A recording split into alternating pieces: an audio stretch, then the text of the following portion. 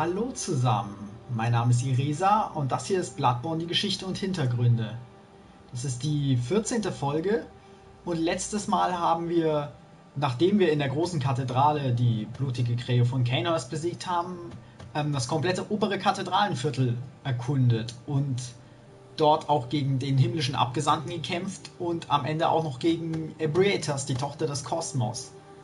Ähm, und ich habe letztes Mal am Ende dann relativ schnell Schluss gemacht. Ich habe zwar noch ein bisschen über alles Mögliche geredet, aber es gibt in dem Raum, in dem wir gegen Ebrietas gekämpft haben, nämlich ähm, den Altar der Verzweiflung, da gibt es immer noch ein bisschen was zu entdecken. Und ein bisschen was meine ich exakt ein was, aber das werden wir uns jetzt einfach mal ansehen. Ist den meisten wahrscheinlich klar, wovon ich rede. So. Jetzt sieht man hier auch schön, dass dieser gesamte Grabstein voll ist. Hier gibt es keine weiteren Orte zu entdecken. Da darf man jetzt leider nicht hoffen, dass das bei den anderen Grabsteinen auch noch so wird. Die werden alle nie so viele Orte haben wie der erste. Aber der hier geht nicht mehr weiter, das war's jetzt. So, Altar der Verzweiflung, genau. Das ist der Raum, in dem wir letztes Mal gegen Ebrietas gekämpft haben. Und ich habe letztes Mal ja auch den Altar selbst gar nicht angeschaut. Wir haben kurz geschaut, wie er aussieht, aber man kann an dem Altar ja auch was machen und das habe ich einfach nicht gemacht. So, so sieht es hier aus. Und da vorne stand die gute Ebrietas.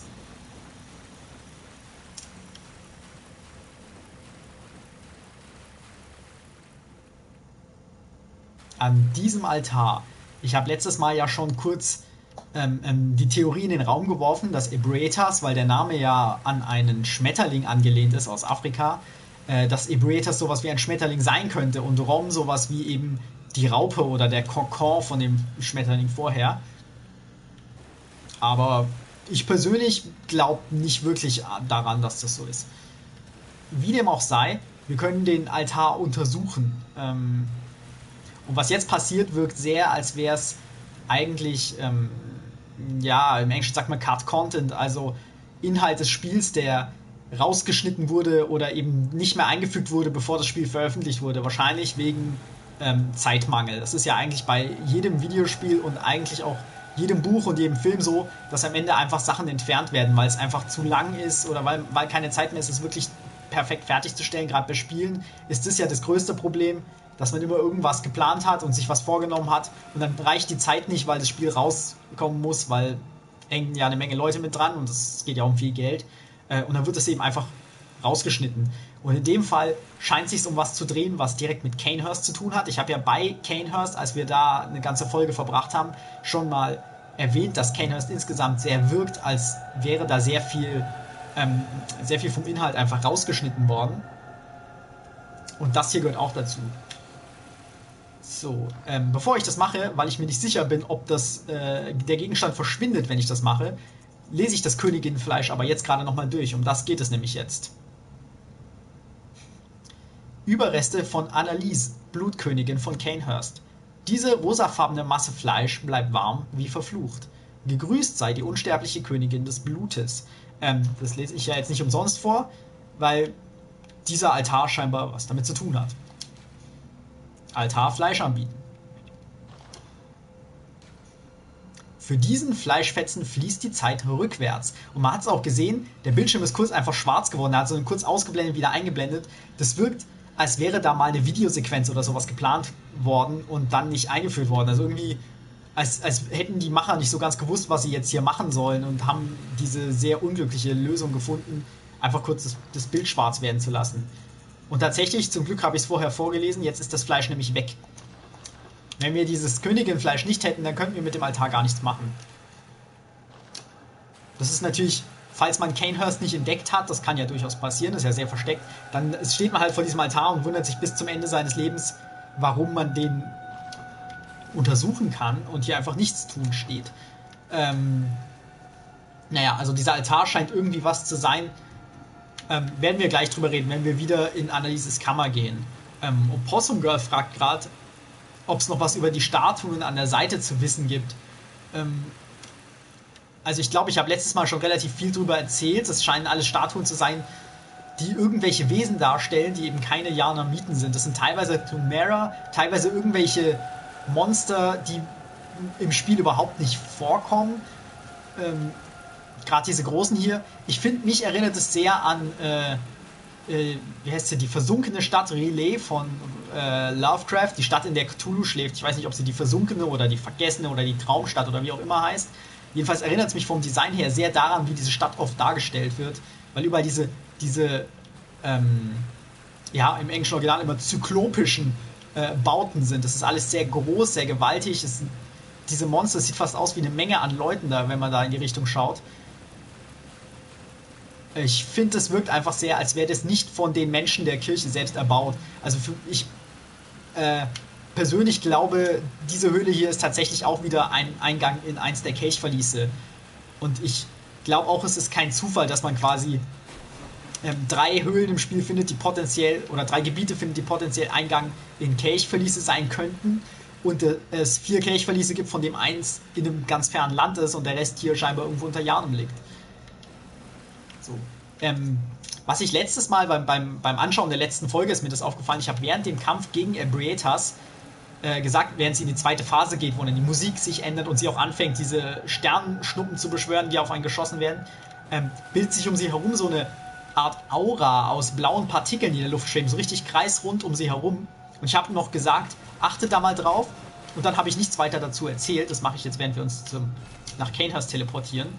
Ähm, weil diese, diese Aura, die sieht genauso aus wie eine sogenannte Ortwolke. Also Ort ist mit zwei O geschrieben, ist ein, ein, komisches Wort. Wahrscheinlich nach irgendeinem Wissenschaftler benannt. Ich war mal wieder nicht vorbereitet und habe nicht nachgeschaut, warum es genau so heißt.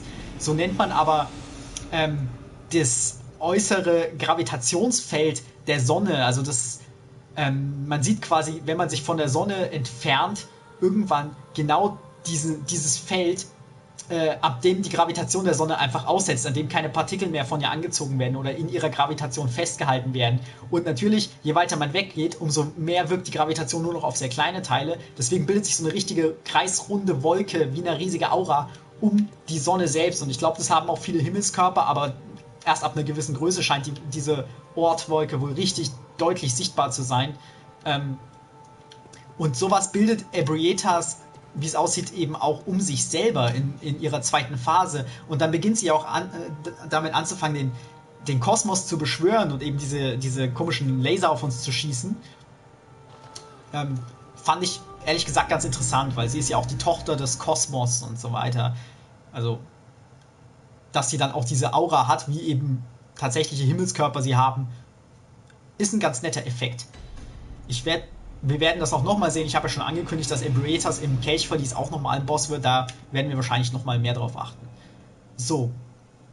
Hier sind wir wieder in der Kammer von Annalise. Die wurde ja von Alfred getötet und äh, zerkleinert und zerhackstückt und wir haben dieses Fleisch von ihr einfach mitgenommen. Alfred hat sich mittlerweile selbst das Leben genommen, um als Märtyrer zu sterben, weil er dachte, Annelies wäre jetzt aus der Welt. Aber hier sitzt sie jetzt wieder, nachdem wir ihr Fleisch an den Altar gegeben haben.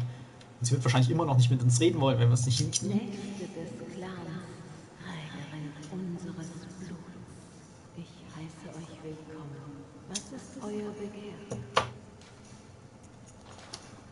Wir können ja mal in den Blutsamen gehen.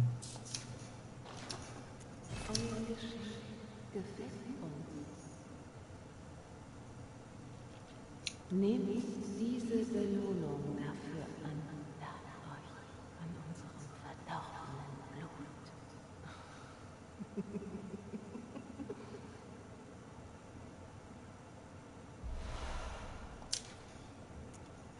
So viel dazu. Eure für die Ehre von Canehurst. Ähm, also das mit dem Blutsamen hatte jetzt nichts mit der Sache mit dem Altarfeuer zu tun. Das ist einfach, was man als Ekelblut macht. Man sammelt diese Blutsamen ein, indem man andere Spieler oder andere Jäger eben tötet. Und dann bringt man die ihr und dann steigt man in der Rangliste der Ekelblüte auf. Das hat keinen größeren Wert.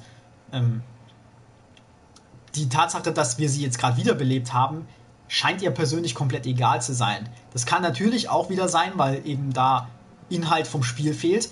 Weil wenn, sie, wenn sich die Macher nicht die Mühe gemacht haben, an dem Altar irgendwas einzubauen, was jetzt mit diesem Fleisch passiert, was irgendwie darstellt, warum sie jetzt, wie sie jetzt wiederbelebt wurde, dann haben sie natürlich auch nichts eingebaut, dass sie überhaupt darauf reagiert. Es kann aber auch sein, dass sie einfach so sehr daran gewöhnt ist, ähm, dass sie immer wiederbelebt wird. Weil ähm, sie ist ja unsterblich. Sie wird ja auch aus dem kleinsten, aus der kleinsten Zelle wird sie irgendwann wieder herauswachsen. Ähm, also kann es sein, dass sie, dass sie das überhaupt jetzt nicht als sowas Besonderes wahrgenommen hat, dass wir jetzt losgezogen sind und sie tatsächlich einfach wiederbelebt haben. Naja, wenn es gewohnt ist, ist ja auch eine Königin, die braucht sich nicht drum zu kümmern, wie es uns geht. Äh, kleine interessante Sache, ähm, sie trägt ja diese Maske und hat hinten diese weißen Haare. Und, die weiße, und sie hat weiße Haut.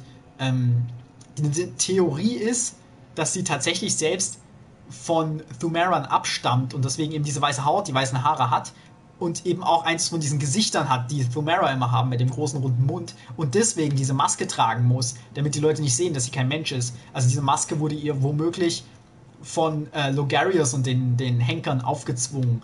Eben sehr wie beim Mann mit der eisernen Maske und so weiter. Wenn man nicht will, dass die Leute erkennen, wen sie vor sich haben, setzt man ihm eine eiserne Maske auf. Und noch ein kleiner Fun-Fact, das habe ich tatsächlich jetzt erst diese Woche in einem Video gesehen. Das hier ist ja der Helm von Kanehurst. Und der hat auch hinten diese weißen Haare. Und die Ritterperücke, die auch zu Kanehurst gehört, hat auch diesen weißen Pferdeschwanz. Da ist es natürlich naheliegend, dass ihre Maske selbst diese Haare auch dran hat, dass, dass das gar nicht wirklich ihre eigenen Haare sind. Ähm, aber ich habe, wie gesagt, diese Woche erst ein Video gesehen von einem Spieler, der das Spiel gehackt hat und irgendwie an, an Items rangekommen ist, die für Spieler nicht verfügbar sein sollen. Gerade eben Rüstung und Kleidung, die nur NPCs tragen sollen, wie zum Beispiel die Kleidung von der alten Frau oder Alfreds Kleidung, während der Blut verschmiert ist und so weiter. Und da war eben auch Annalieses Kleidung dabei. Und das Kleid äh, äh können, kann man theoretisch tragen als Spieler, weil sie ist ja auch eigentlich nur ein Spielermodell. Und zu dem Kleid gehört auch die weiße Haut und die Haare.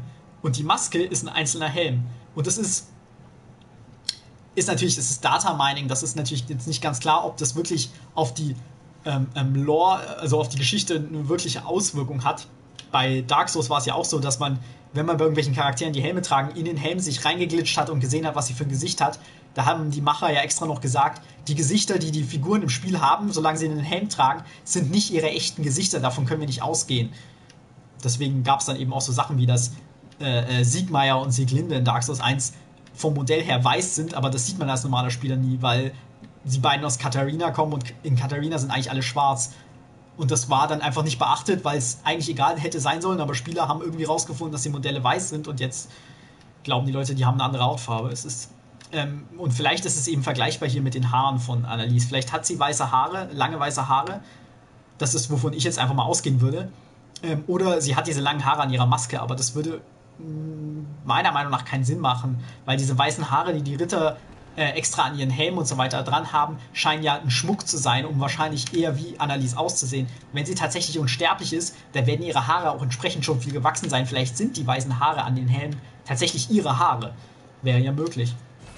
Wenn jetzt aber jemand wie Logaris und die Henker ihr eine Maske aufzwingen, werden die an dieser Maske ja nicht extra nochmal Haare anbringen, die den Schmuck nachempfunden sind, den die Leute aus Canehurst tragen. Das wäre ja irgendwie bescheuert, äh, ihr noch diese Ehre zu erweisen, wenn man eigentlich möchte, dass sie stirbt. So, aber genug davon. Das war nur so ein kleiner Schwenk mal zur Seite. Ich schau mal, ob wir ein Level bekommen können.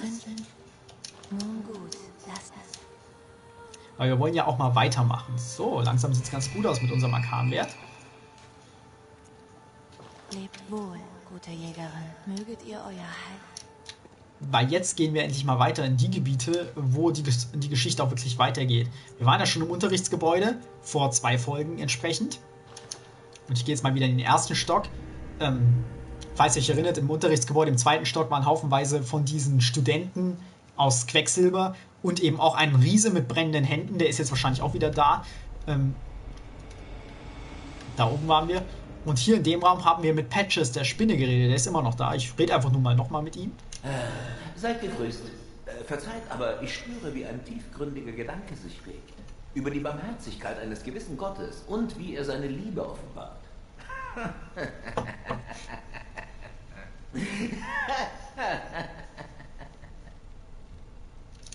ich weiß bei Patches überhaupt nicht einzuordnen, was er eigentlich redet. Also entweder äh, scheint er sich einzureden, dass Amygdala gar nicht tot ist, oder Amygdala, wie er, wie er ihn ja nennt. Ähm, oder vielleicht ist Amygdala gar nicht tot, weil man weiß ja gar nicht, wie das jetzt ist mit solchen Wesen. Oh mein Gott. So. Den ignoriere ich jetzt einfach. Und gehe hier durch die Tür. Ähm, vielleicht will er, also wie gesagt, vielleicht will er es nicht wahrhaben, vielleicht ist Amygdala nicht wirklich tot. Man kann es ja nicht wissen bei so transdimensionalen Wesen, wie Amygdala ja zu sein scheint. Ähm, vielleicht ähm, macht er keinen Unterschied zwischen den falschen Gottheiten und Amygdala aus der Albtraumfront. Aber wie dem auch sei, jetzt geht's weiter. Menses Albtraum. Menses, erinnern wir uns ja alle, ist die Schule von Menses. Das sind die Leute, die in Yahagul gelebt haben oder zumindest dort ihre Rituale vollzogen haben. Also es haben vielleicht noch mehr Leute da gelebt. Und in Yahagul waren überall geschmolzene Leichen. Und jetzt sieht man mal hier, sind überall Schädel an den Wänden.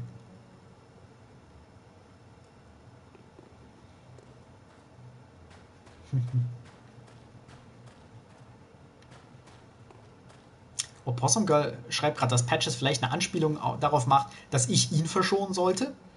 Kann ja auch sein. Vielleicht meint er das so. Vielleicht sind wir jetzt sein gewisser Gott und nicht mehr Amygdala. Schwer zu sagen. Er ist irgendwie sehr undeutlich. So, komm hier raus. Und das, dieses Gebäude haben wir schon mal gesehen. Von der Albtraumfront aus. Ganz weit in der Ferne konnte man das erkennen. So, und jetzt sind wir hier einfach irgendwo im Dunkeln. Also, ähm, wir sind im Menses Albtraum, also wir sind wahrscheinlich in einer Albtraumwelt. Wir haben ja auch gerade schon, habt ihr vielleicht auch gesehen, diese Meldung auf dem Bildschirm gehabt, dass jetzt eine Glockenmaid wieder da ist und die sind ja in Albtraumwelten immer auch da. Also gut möglich, dass ein anderer Spieler auftaucht und mich tötet. So ist dann das Leben. Ich möchte ehrlich gesagt nicht offline gehen dafür. Das finde ich irgendwie gehört ein bisschen zur Spannung dazu. So, und hier steht so eine Loran Silberbestie.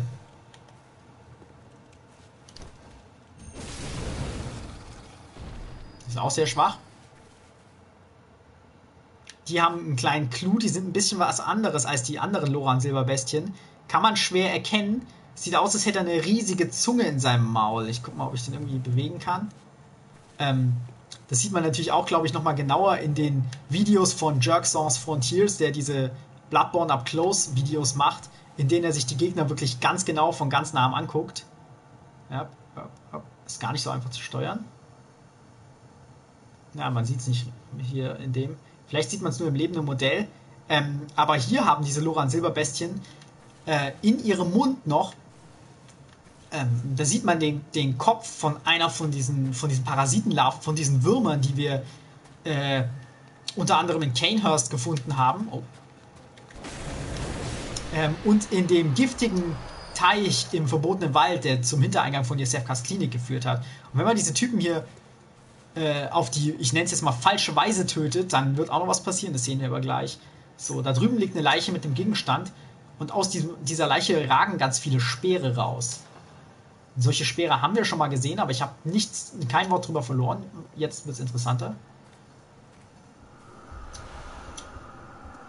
Da beginnt das Haus zu leuchten, dieses Fenster.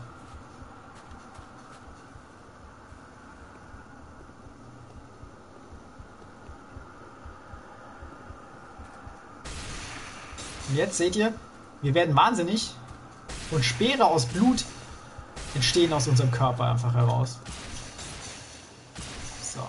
Die sind nicht sehr resistent gegen Wahnsinn, sehe ich. Das sollten wir wahrscheinlich ändern. Ich werde einfach eine Rune anlegen, damit unsere Resistenz gegen den Wahnsinn ein bisschen höher ist. Vielleicht sollte ich auch ein bisschen von unserer Einsicht ausgeben, weil es hat ja auch Auswirkungen drauf. Was ich nicht machen werde, ist unsere Kleidung wechseln. Dafür habe ich zu lange drauf gewartet. Ja, wir haben 60 Einsicht. Ich glaube, da muss ich mal ein bisschen was loswerden. die brauchen wir ja eigentlich nicht. Ähm, was wir jetzt gerade gesehen haben, während, währenddem äh, der Wahnsinn eingesetzt hat, ähm, dass eben diese, diese roten Speere aus unserem Charakter einfach rausspießen. Ähm, das ist ein Effekt, das sieht aus, als würde sich unser Blut quasi in Speere verwandeln. Das ist durchaus möglich, dass es so ist.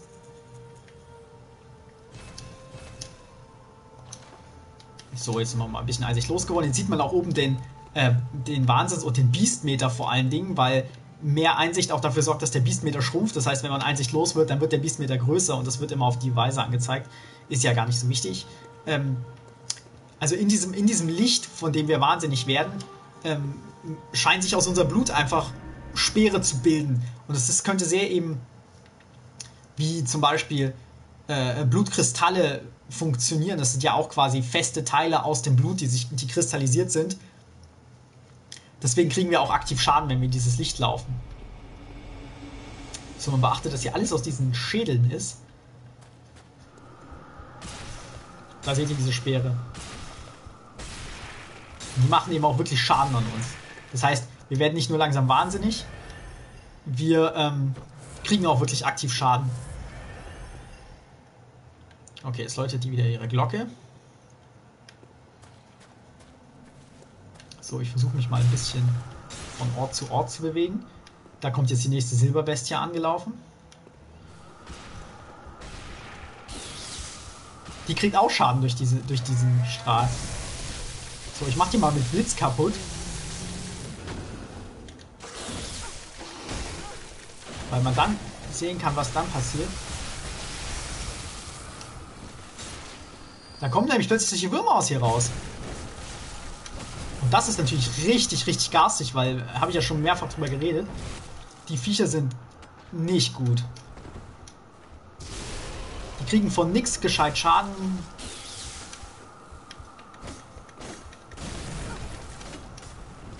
Man kann sie unglaublich schwierig nur treffen. Selbst mit dem Flammenwerfer. Man sollte meinen, dass sowas Gutes gegen die, aber das scheint die gar nicht zu interessieren. Es sind eben diese Parasitenlarven.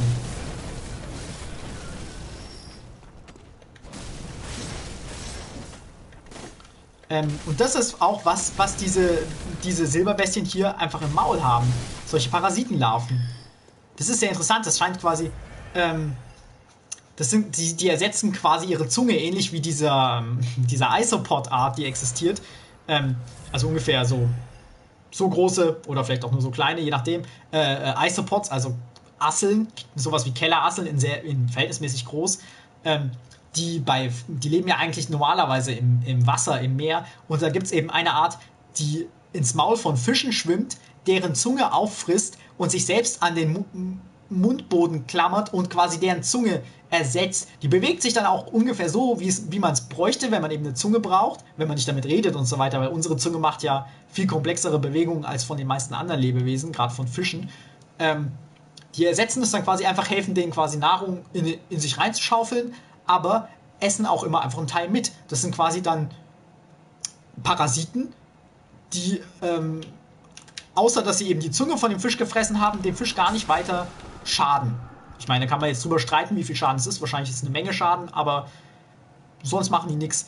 Und diese, die Parasitenlarven, die ja auch extra Parasitenlarven heißen, scheinen bei diesen Silberbestien genau das gleiche zu machen. Zumindest kann man sie in ihrem Mund schon sehen. Und wenn man sie mit Feuer tötet, oder mit einer Eingeweideattacke, dann kommen diese Larven nicht. Das ist natürlich sehr praktisch, weil wir viel Feuerschaden verursachen. Das heißt, wir werden das Problem eigentlich kaum haben.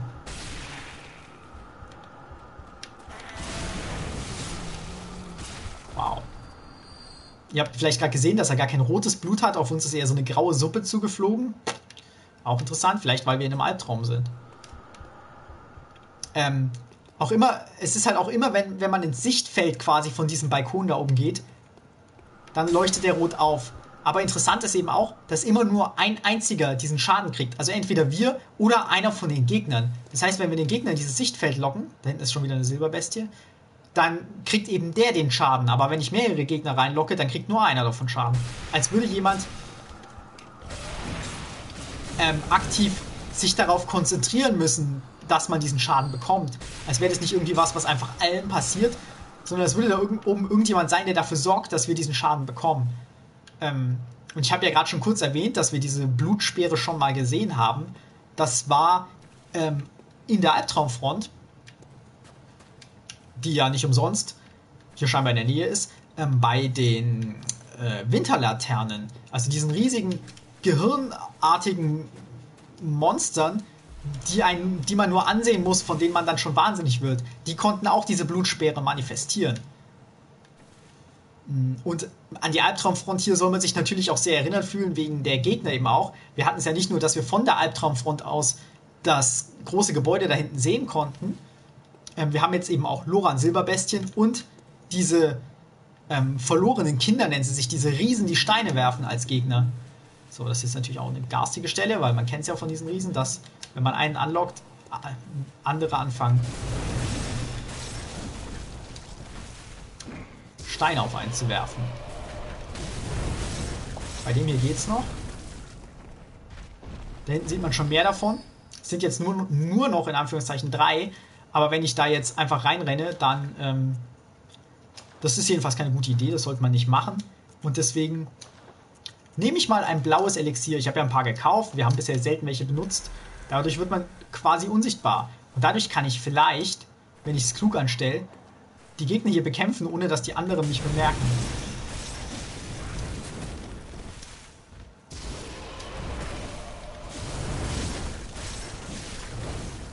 So, die haben es nicht gesehen. Die würden nämlich natürlich sofort Steine auf mich werfen.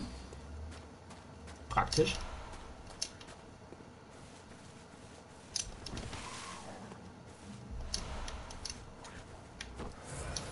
So, jetzt wird es knappes.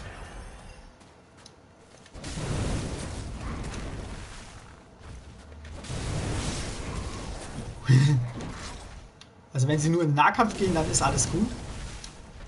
Wenn sie Steine werfen, wird es natürlich gefährlicher.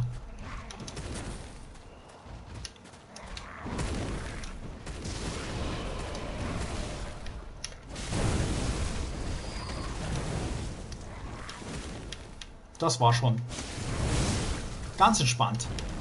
Das Elixier hat sich gelohnt. Oh, die lassen sehr viele Zwillingsblutsteinscherben fallen. Das ist ja ganz nett. Da haben wir jetzt ein paar. Ich habe mir natürlich, wie auch bei den letzten Malen, einfach erlaubt, in der Zwischenzeit genug Echos zu farmen, um eben Gegenstände zu kaufen, die wir nicht hatten, wie eben die Klingen der Gnade und Kleidung von Aline. Und habe auch einfach nur der Vollständigkeit halber den Rosmarinos mal auf drei aufgerüstet. Also ich sage euch das jetzt einfach der Vollständigkeit halber.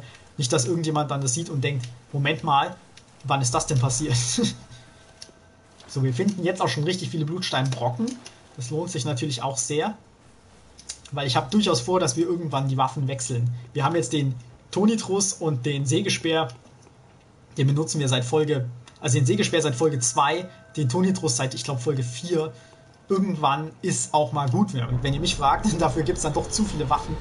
Aber da müssen wir uns dann auch ein bisschen, müssen wir auch ein bisschen drauf hinarbeiten. So. Und was wäre es auch für ein Albtraum, wenn es keine Spinnen gäbe? Diesmal quasi echte Spinnen. So. Was wir vorher aber kurz angucken müssen, ist hier an den Wänden hängen Augäpfel. Unter anderem in Spinnennetzen. Ja, eigentlich nur in Spinnennetzen.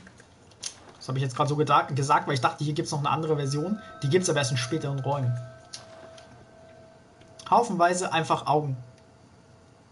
Schwer zu sagen, was das zu bedeuten hat. Ich habe das Gefühl, dieser Raum mit den Spinnen soll irgendwas Tieferes aussagen, aber ich habe bisher noch nie irgendwo was gelesen, gehört oder gesehen, was, was einem einen Hinweis darauf gibt, was das hier soll. So, die kann man erstmal ignorieren. Also da hängt eine große und ganz viele kleine Spinnen und wenn man drunter läuft, fallen die natürlich runter. Das Wichtigste ist aber erstmal hier, da steht die gute Glockenmaid. Die töte ich jetzt einfach, weil dann haben wir das Problem nicht mehr, dass ähm, andere Spieler auftauchen könnten. So, hier kann man nochmal da unten ein bisschen sehen, wo wir gerade ungefähr waren, obwohl man sieht es von hier aus ganz schlecht. Hier sieht man nur so komische Steine. So. Und da hinten geht es quasi weiter. Wir wollen ja jetzt wahrscheinlich einfach dieses Gebäude nach oben. Also ich meine, wir sind in ein Gebäude reingegangen. Wahrscheinlich wollen wir hoch. Ist ja immer so.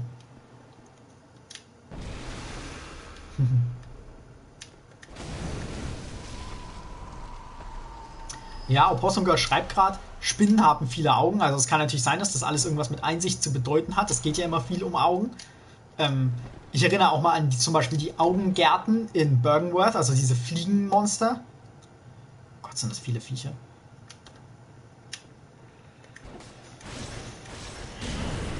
Ich treffe sie nicht mal. Ähm, die wurden ja auch scheinbar gezüchtet, um Augen ja, zu züchten. Und wenn man, wenn man extra irgendwelche Fliegenmenschen zusammenbastelt, um an deren Augen zu kommen, dann ist es natürlich auch naheliegend, dass die Leute einfach direkt riesige Spinnen züchten, um an deren Augen zu kommen. Wobei diese Spinnen gar nicht so viele Augen zu haben scheinen. Ja, aber ich habe jetzt genau die blödeste ausgesucht. Ich laufe mal runter und wir schauen mal die große Spinne mit dem Fernrohr an. Der Raum wird jetzt wahrscheinlich auch nicht sehr spektakulär, weil ich bin ja... Oh. Dann halt doch. Ähm, ich bin ja auch nicht lebensmüde. Ich renn halt einfach weg zur Tür und wir gucken mal, wie weit sie uns folgen können. Die Kleinen schon ein Stück weit.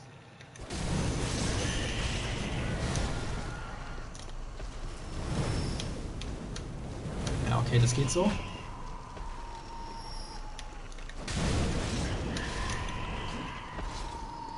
Es sind halt einfach viel zu viele und sich mit denen und der Großen gleichzeitig anzulegen, ist natürlich. Das, ähm, glaube ich, macht sowieso keiner. Die Türen sind hier ja extra so praktisch gelegt. Ah, hier können wir sie uns aber jetzt mal in Ruhe angucken. Sie hat, wie es aussieht, überhaupt keine richtigen Augen. Oh, sie, kann, sie hat eine hohe Reichweite. Ähm, normal haben Spinnen ja auf dem Kopf richtig viele irgendwelche Augen. Bei der hier sehe ich kein einziges. Vielleicht wurden die für ihre Augen gezüchtet und ihre Augen wurden entfernt. Vielleicht sind das die Augen von den Spinnen, die denen abgenommen wurden. Das ist durchaus ja möglich. Ach, wurscht. So, wir schauen mal, was das hier macht.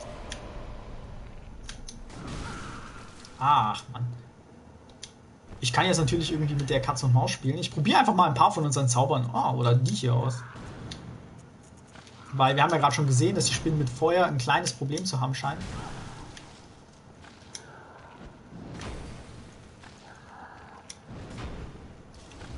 Ja, das ist doch was. Da macht sich halt auch sehr bezahlt, dass ähm, Molotow-Cocktails mit äh, unserem Arkanwert skalieren. Für vielen bringen die uns ja eh nichts mehr. Es gibt ja kaum Gegner, bei denen die Molotow-Cocktails irgendwie sinnvoll eingesetzt werden können.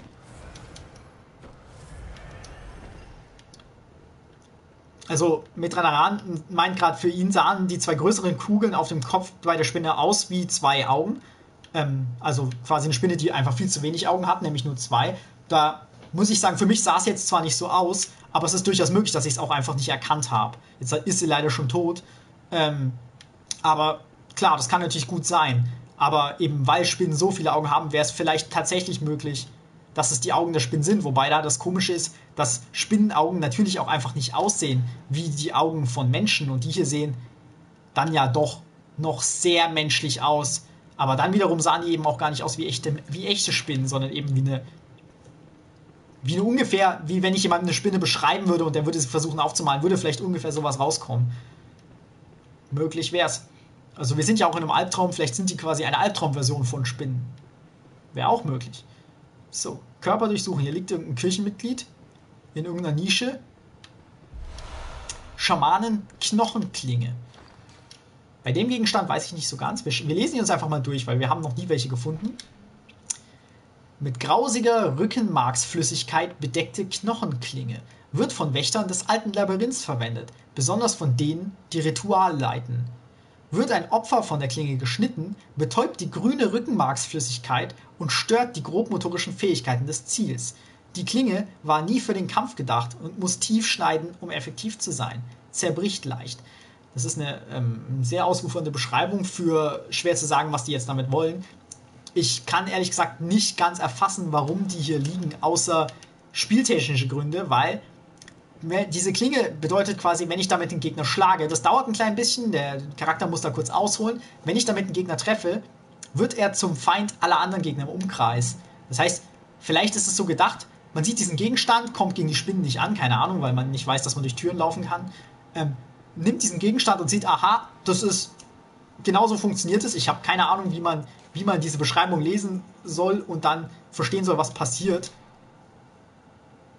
weil ich finde, das wird überhaupt nicht deutlich aus dem Text. Äh, und dann wendet man es auf die große Spinne an und dann kämpft die gegen die ganzen kleinen Spinnen oder sowas. Schätze ich mal. Das ist der einzige Ort, wo man die im Spiel einfach so findet. Man kann sie ähm, als, äh, man kann sie auch finden von, von, Gegnern, nämlich von den Gehirnsaugern.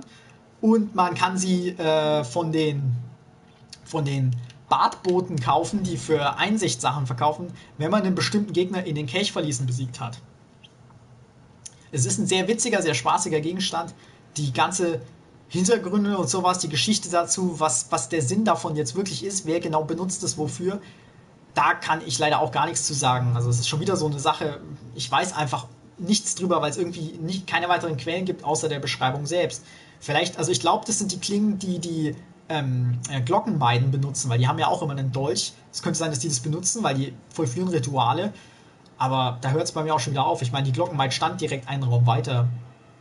Wäre witziger gewesen, wenn diese Klinge bei ihr gelegen hätte. Aber naja. Ähm, da steht ein Jäger.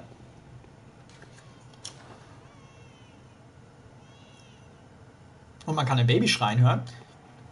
Da steht ein Jäger, der, da gehe ich jetzt mal nicht zu nah ran. Der trägt äh, die Kleidung der Menses-Schüler. Ich glaube, er trägt Ludwigs heilige Klinge und einen Rosmarinus. Jetzt kommt er auch schon.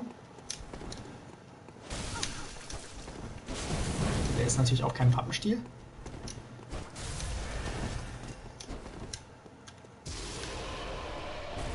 Da sieht man den Rosmarinus im Effekt. Der hat sonst einfach nur eine Brille auf und der trägt eben einfach diese relativ normale Studentenkleidung.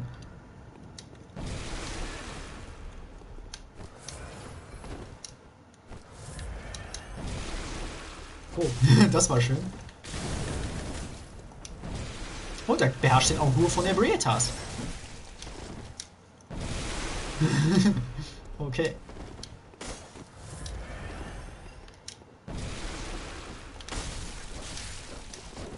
Und der ist wirklich knackig, aber so sind die Jäger ja immer. So, das war's. Äh, Medrana Ragnar fragt eine Idee, warum er angreift. Ja, und ich kann gleich ein bisschen mehr sogar noch zu dem erzählen. Beruhigungsmittel, schön. Ähm, weil dieser Jäger hat einen Namen, den kennt man natürlich dann auch nur aus dem Future Press Guide. Es gibt nicht viel zu dem zu wissen, aber sein Name zumindest im Englischen, den deutschen genauen Namen weiß ich leider nicht, aber im Englischen ist er Edgar Quire Intelligence. Also sowas wie Core Spion, weil Intelligence bezeichnet ja immer so dieses ganze Spionagezeug und so weiter. Ähm, der trägt zwar die Kleidung der Menses-Schüler, aber er ist offensichtlich vom Chor ein Spion. Ein Spion, der, den, der die Menses-Schule auszuspionieren scheint, auf Auftrag des Chors hin. Es ist kein Zufall, dass er den Rosmarinus und Ludwigs Klinge benutzt, ähm, weil das die Waffen der Kirche sind. Ludwigs heilige Klinge, Entschuldigung. Ähm, warum sollte jemand, der zur Menses-Schule gehört, diese Waffen benutzen? Er beherrscht den Agur von Ebrietas, der ja mehr oder weniger zum Standardarsenal des Chors gehört. Ähm, ob er zum Standardarsenal von Menses gehört, weiß ich nicht, aber Menses hat mit Ebrietas ja nicht viel zu tun. Aber vielleicht kriegen wir noch mehr Einsicht drüber, wenn wir mehr über Menses erfahren.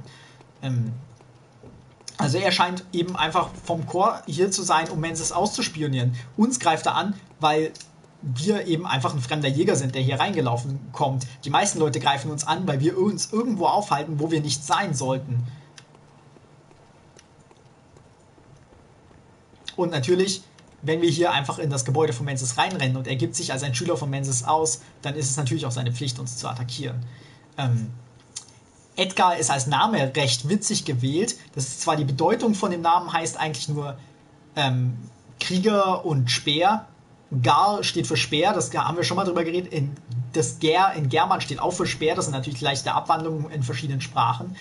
Speerkrieger, oder ne, nee, es heißt nicht Krieger mit Speer, sondern es heißt eher Mensch, der mit Speer seinen Besitz verteidigt. Sowas in die Richtung kann man es am ehesten übersetzen. Das ist, da weiß man jetzt nicht viel, also vielleicht verteidigt er dieses Haus. Was viel interessanter ist, ähm, wenn man sich anguckt, was für Personen es gab, die auch Edgar hießen, weil tatsächlich es gab eine berühmte Person in Amerika, der hieß Edgar Hoover, wenn ich mich nicht irre, aber das kann ich jetzt auch falsch liegen. Ähm, und der war der erste Chef vom FBI, vom Federal Bureau of Intelligence oder Investigation. Ich bin mir gerade nicht sicher. Jedenfalls sind die diese Spionagetypen. Jeder kennt das FBI. Ähm, ist, ist witzig, dass der eben auch genau Edgar heißt, wenn er eben ein Intelligence was auch immer. Ich weiß gar nicht, wie man Intelligence genau übersetzen würde. Ein Spion, ein Agent. so, hier steht eine Truhe. Die holen wir uns mal, bevor wir da runtergehen und uns dieses Fußplatschen da unten mal genauer anschauen. Gelbe Wirbelsäule. Possum Girl sagt, wird es nicht mal Zeit zu leveln? Naja, ein Level wäre drin, aber wir gucken erstmal weiter. Ich renne ja jetzt nicht den ganzen Weg zurück. Ähm, gelbe Wirbelsäule haben wir schon mal gefunden, nämlich vom, äh, vom Wiedergeborenen. Da gab es große Hinweise, was genau soll das. Hier liegt gelbe Wirbelsäule wahrscheinlich größtenteils auch nur, um zu wissen, aha, Menses hat tatsächlich Rituale mit den gelben Wirbelsäulen abgehalten, die scheinbar da sind, um irgendwas anzulocken. Die scheinen eine Art Köder zu sein. Was genau damit angelockt werden sollte, das wissen wir bisher noch nicht. So, hier unten trapsen so komische Typen rum. Hier sind auch noch mehr Augen, diesmal in anderer Form. Ich, ich kann die Typen getrost ignorieren, deswegen mache ich das jetzt auch kurz. Hier sind Augen mit Beinen, aus denen eine Art Pflanze rauswächst. Mit Spinnenbeinen. Vielleicht wachsen aus diesen Augen diese Spinnen. Vielleicht werden aus, vielleicht sind diese Augen keine echten Augen oder sind Augen, aber gleichzeitig auch Kokons, aus denen langsam Spinnen herauswachsen. Diese hier scheinen tot zu sein, denn jeder ist entweder, entweder ist es eine Pflanze oder eine Art Spieß. Ich glaube, es ist eine Pflanze. Das ist echt ganz komisch einfach irgendwie. So. So, diese Typen hier. Ich mach mal eine Laterne an. Die tun nichts. Die wollen nur spielen. Das, die haben so auch so eine eiserne Maske auf, sehr wie eben tatsächlich der Mann mit der eisernen Maske und tragen eine kleine Rüstung. Sehen, die Maske sieht aber ganz anders aus als die Maske von zum Beispiel Annalise. Die Maske von denen hat ein Gesicht. Ähm, heißen tun die Mergos Diener. Ähm, mit dem Begriff Mergo können wir bisher nichts anfangen, aber das sollte man sich vielleicht merken. Entschuldigung. ähm, die tun nichts. Die greifen einen an, wenn man sie zu sehr irgendwie belästigt. Irgendwann werden sie ein bisschen aggro, aber das, das dauert eine Weile. Manche sind ein bisschen aggressiver als andere. Und die greifen dann an, wenn man bestimmte Gebiete einfach betritt. Also es gibt schon Bereiche, in die die nicht wollen, dass man hingeht. Aber bevor ich jetzt irgendwie mit denen weitermache, gehe ich mal hier hin. Weil hier haben wir einen Fahrstuhl. Mit so einem lustigen grünen Auge als Knopf. Der Fahrstuhl fährt leider schneller als die Kamera. Also man sieht es richtig, dieser Knopf, auf den man da in der Mitte tritt, damit der Fahrstuhl losfährt, sieht aus wie ein Auge. Und der Hebel, an dem man ziehen kann, hat auch ein Auge. Interessant, nicht wahr? Und jetzt sind wir wieder hier draußen. Da drüben über die Brücke sind wir, sind wir vorhin gekommen. Da war auf der Seite, auf der einen Seite eine Silberbestie, da drüben. Aber, also da haben wir die ganze Zeit von dem Fenster irgendwo hier oben müsste es sein. Das können wir von hier aus gar nicht sehen. Da haben wir diesen, diesen Wahnsinn abgekriegt. Und hier ist mal noch eine Lampe. Ist doch schön. Jetzt haben wir quasi einen direkten Weg in dieses Gebäude rein. Und jetzt gehe ich kurz in den Traum und level ein bisschen. Man weiß ja nie, was passiert.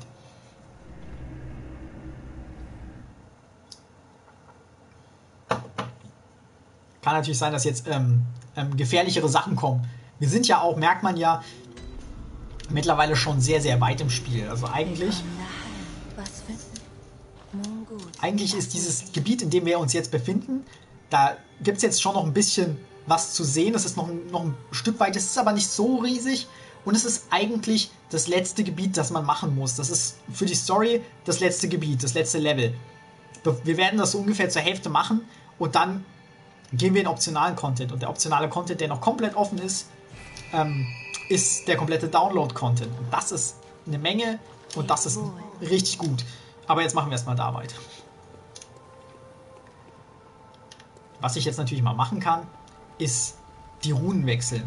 Weil jetzt werden wir erstmal. Na, doch noch nicht. Da habe ich mich kurz geirrt. Ich habe was Kleines vergessen. So. so, die Lampe, bei der wir gerade waren, Vorher waren wir an der Lampe Menses Albtraum. Jetzt sind wir bei Mergos Speicher Basis.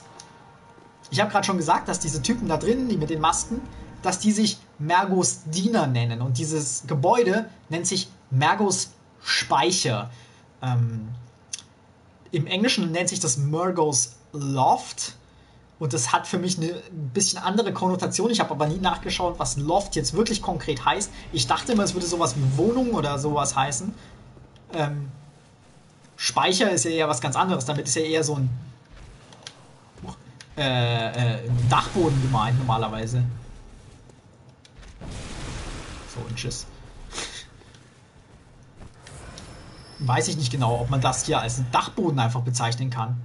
Also Speicher ist ein sehr komisches, vor allen Dingen sehr, sehr deutsches Wort. Also klar, es ist eine deutsche, deutsche Übersetzung von dem Spiel, aber selbst da muss man ja nicht unbedingt die, die urdeutschesten Wörter, die man finden kann, nehmen. Also es ist, naja, mal wieder bin ich kein Fan der Übersetzung. Aber ich meckere ja auch gerne.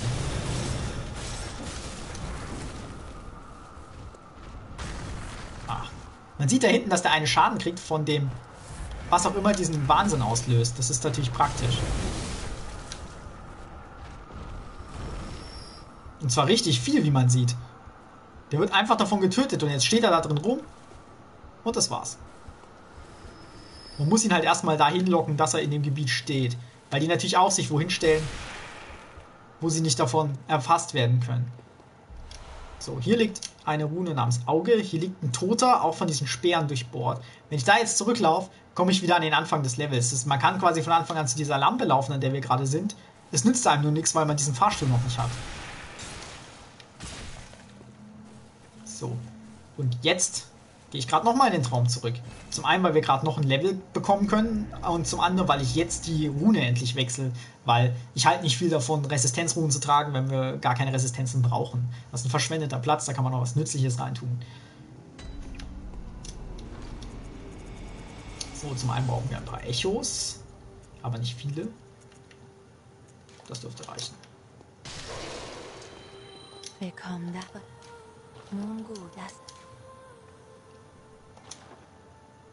Okay, das reicht genau nicht.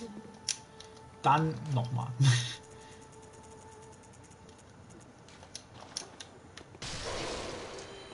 Willkommen. Nun gut, das. So. Wow. Noch fünf Punkte Arkan, dann sind wir zumindest für unsere Waffen auf dem nahezu effizientesten Wert. Ähm, nur so zur Information. So, ich hole mal eben Kommunion. So. Ähm, ich habe das ja schon mal erwähnt, dass die äh, Charakterwerte eigentlich bis 50 noch sehr gut skalieren und von 50 bis 99 eigentlich nicht mehr. Das heißt, mit 50 Stärke macht eine Waffe, die mit Stärke skaliert, 85% ihres potenziellen Schadens und mit 99 Stärke macht sie halt dann ähm, 100% oder ja, 100% ihres potenziellen Schadens. Da gewinnt man nur 15% mehr Schaden für 50 Level. Das lohnt sich natürlich überhaupt nicht. Während man in den ersten 50 Leveln halt irgendwie 80% Schaden gewinnt.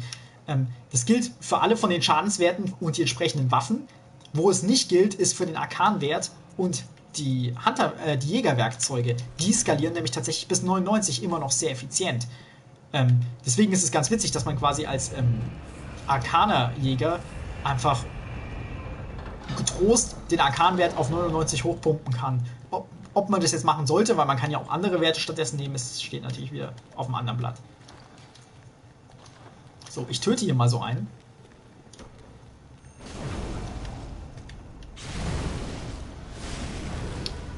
Wirklich viel aushalten tun sie jetzt nicht unbedingt, aber es geht. Ähm, die haben vor allen Dingen Also vier Schläge sind schon ordentlich für einen Standardgegner. Ich probiere mal den hier aus. Ja, schon eher. Das sind nämlich ausnahmsweise auch mal wieder Gegner, die Rüstung tragen. Und als Faustregel gilt ja auch, äh, stumpfe Waffen sind gut gegen Rüstung und äh, Stichwaffen sind gut gegen Haut. Sägewaffen sind gut gegen Bestien und heilige Waffen gut gegen Geister. so, ähm, ja, wir sind jetzt hier in einem riesigen Raum angekommen, an dem unglaublich viele Käfige von der Decke hängen. Da unten steht irgend so ein dicker. Da ist ein riesiges Loch im Boden, das sind gewaltige Säulen. Es ist schwer zu erfassen, was das hier eigentlich für ein Raum sein soll. Hier liegen mal wieder Milliarden von Büchern einfach rum. Also es könnte eine Art gewaltige Bibliothek sein. Diese Käfige könnten zum Beispiel Fahrstühle sein, um höhere Regale zu erreichen. Sie könnten auch echte Käfige sein, um irgendwelche Leute reinzusetzen, die dann, dass man während man was ein Buch liest, das Gejammer von irgendwelchen Sklaven hören kann, ist ja auch sehr angenehm. Aber scheinbar ähm, ist hier irgendwas nicht in Ordnung, weil da ist, wie gesagt, ein riesiges Loch in der Mitte, das einfach in die Leere führt. Aber wir erinnern uns, wir sind nicht in der Wachwelt, wir sind in einem Albtraum. Und da ist natürlich ein Loch, das ins Nichts führt, nichts Besonderes. Das kann ja sein, das kann es ja geben.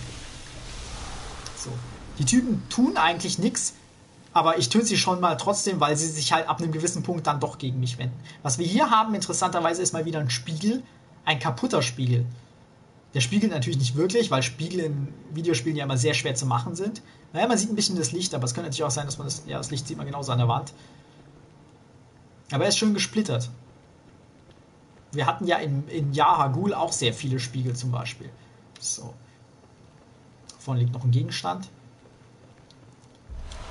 Blaues Elixier. Wir finden gerade irgendwie, habe ich das Gefühl, sehr mehr oder weniger zufällig verteilte Gegenstände. Bestienblut-Tabletten, blaues Elixier. Ähm, da ist schwer zu sagen, ob es da wirklich irgendwie einen, einen tieferen Sinn gibt. Ich behaupte einfach mal, dass irgendwelche Experimente hier vielleicht abgehalten wurden, bei denen diese Sachen hergestellt wurden. Wäre ja möglich.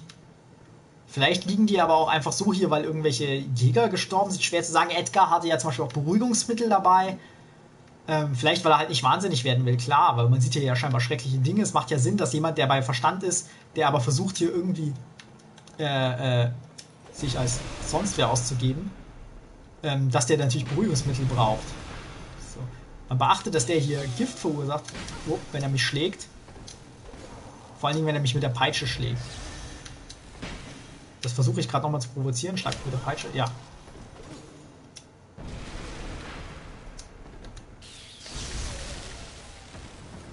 So, das ist ein riesiger Typ mit Rüstung, der ist halt aggressiv, deswegen muss ich jetzt gegen ihn kämpfen. Die heißen quasi Mergos ähm, ähm, Chefdiener oder sowas, also oberster Diener oder sowas. Ja, ich glaube, oberster Diener ist die Übersetzung. Die sind einfach nur größer, tragen ein paar Waffen.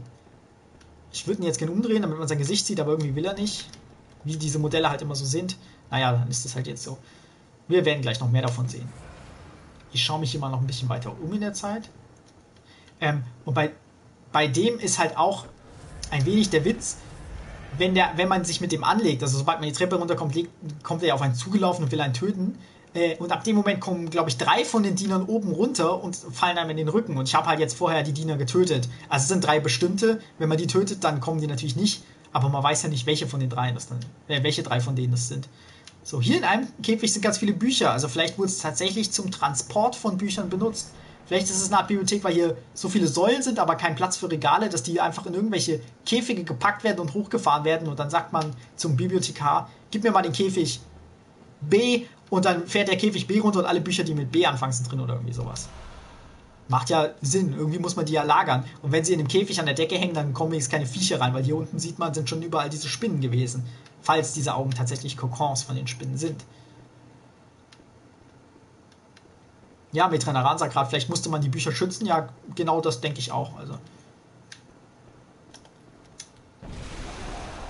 Okay, damit macht man leider nicht viel Schaden an dem.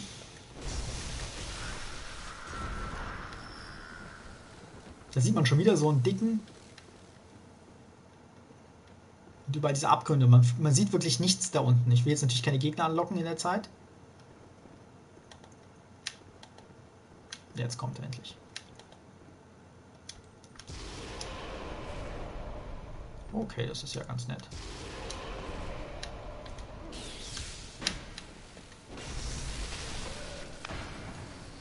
Man muss es sich ja auch nicht schwer machen. Die lassen schmutzige Dunstblut-Edelsteine fallen. Das ist natürlich auch interessant. Schmutzige Dunstblut-Edelsteine machen nämlich schnelles Gift. Das ist natürlich ähm, ja, allein deswegen interessant, weil die eben äh, Gift verursachen, wenn, wenn sie einen angreifen. Oh, und ein Feuerdunstblut Edelstein haben wir gefunden. Das ist ja auch nicht verkehrt. Bringt uns sogar was. Nächstes Mal, wenn ich im Traum bin. Ähm, also die verursachen Gift, wenn sie erschlagen und sie lassen diese Steine fallen, mit denen man Gift selbst auch verursacht. Macht Sinn. So, ich gucke mal, ob ich das hier machen kann. Nein. Hier sind nämlich Gegner dahinter. Aber so funktioniert leider nichts in dem Spiel. Der hat einen anderen Hut auf, sieht man. So einen, sieht ein bisschen aus wie ein Harlekin und er trägt eine Armbrust in der Hand.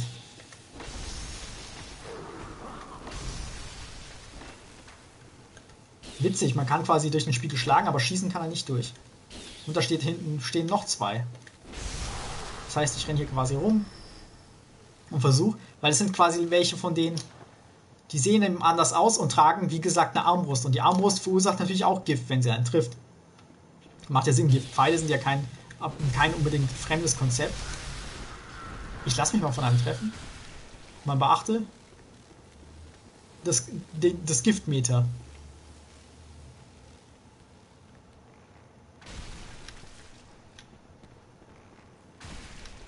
Okay, jetzt reicht's aber.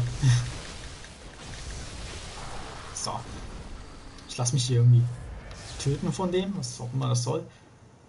Hier liegen überall diese Bücher rum und eben auch noch mehr von den Spiegeln. Das ist halt sehr interessant. Über Spiegel, den ganzen Paragraphen darüber, was Spiegel als Ritual äh, bei Ritualen zu bedeuten haben, packe ich nicht nochmal aus. Aber sie sind auch wichtig für Rituale. Bleielixier, das ist noch so ein komplett anderer Gegenstand. Klar, Bleielixier stammt, wissen wir, aus Albträumen, steht in der Beschreibung. Aber ist genau wie vorher, man findet blaues Elixier, Beruhigungsmittel, Bleielixier, Bestienbluttabletten. Einfach alles, was man mal gebrauchen kann. Das finde ich sehr schwer, ähm, da ein Muster drin zu sehen. Ich habe sehr das Gefühl, das liegt hier halt, weil man kann es vielleicht alles gebrauchen, weil es ist das letzte Level und so. So, hier ist mal wieder so ein Fahrstuhl.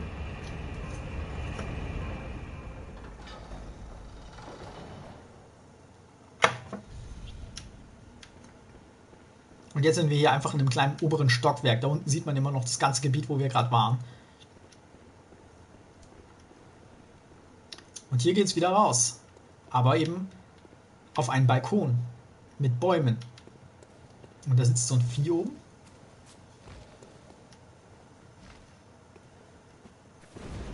Es ist ein Rabe mit einem Hundekopf. Weil was gibt es Schlimmeres im Spiel als Raben und Hunde? Es sind Rabenhunde. Warum auch nicht? Und wo es Raben mit Hundekopf gibt, da gibt es natürlich auch Hunde mit Rabenkopf.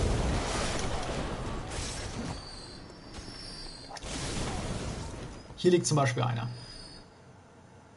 Es sind beides die nervigsten Gegner im Spiel und jetzt werden sie kombiniert. Also es ist natürlich, jeder Spieler freut sich des Lebens, wenn er das erste Mal hierher kommt. Aber zum Glück halten die immer noch nicht viel Feuer aus, weil es sind ja immer noch Tiere. Und Tiere und Feuer ist dem Spiel ja immer so eine Sache. Unser Flammensprüher ist aber auch echt schwach mittlerweile. Also unser Flammensprüher ist auf plus 6. Das ist natürlich nicht der Rede wert im Vergleich zu allen anderen Waffen, die wir haben. So, da ist ein Käfig, da sitzt einer einfach drin.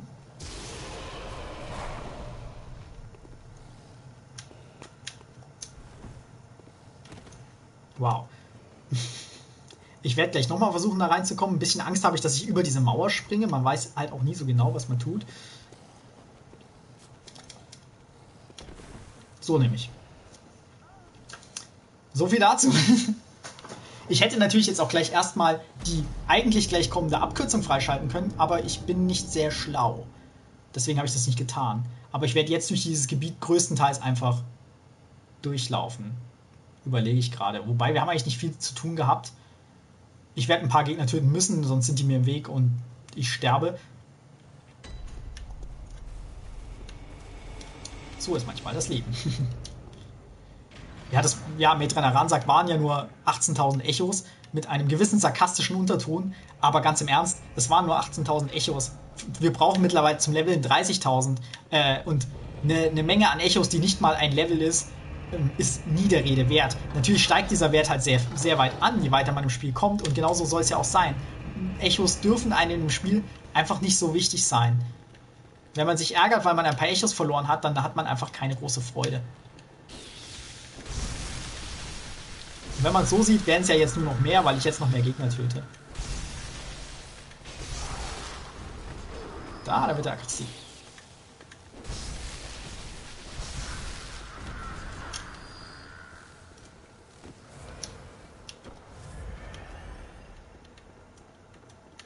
So, dann probieren wir uns mal darin wieder.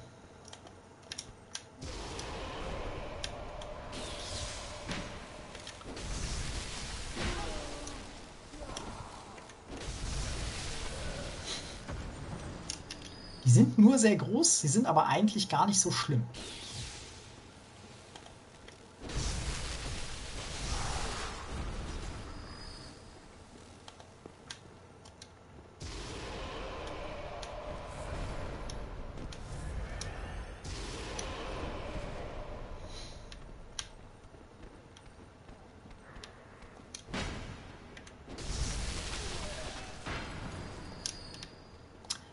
Zu dem Fahrstuhl versuche ich jetzt zu rennen. Jetzt haben wir halt das Problem, dass da die Typen mit den Armbrüsten stehen und der Fahrstuhl jetzt eben oben ist. Ah, das Gelände scheint aber zu reichen.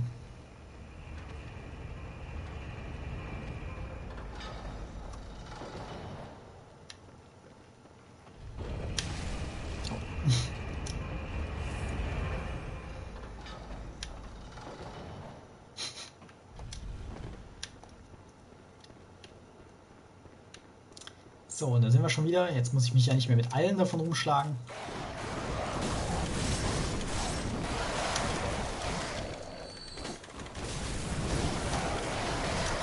Au, au, au, au, der hat sie. Und will mich jetzt auch töten, oder was? So. Da haben wir unser paar Echos wieder. Jetzt ist ja wieder alles gut. Hat sich ja gelohnt. Jetzt haben wir gerade fast schon wieder ein Level zusammen. Könnte ich ja jetzt fast behaupten, ich bin äh, absichtlich gestorben. Bevor ich aber irgendwas mache, gehe ich erstmal hier hin. Man sieht es schon. Jetzt haben wir hier einen Fahrstuhl, der uns eben wieder direkt zu unserer Lampe bringt. Das ist natürlich schön. Aber ich fahre direkt wieder hoch.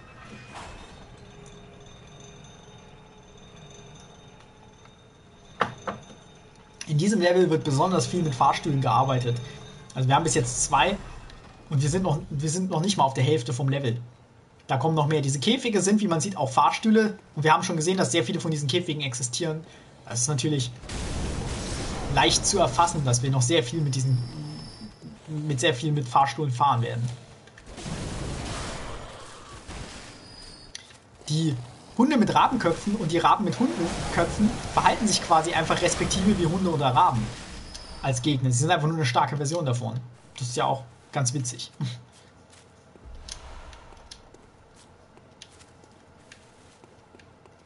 So, jetzt probiere ich nochmal mein Glück an dem.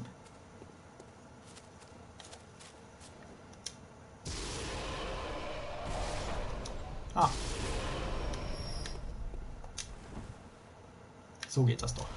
Mäßigungsdunstblut-Edelstein. Da muss ich gerade nochmal nachgucken. Der hier war's. Äh.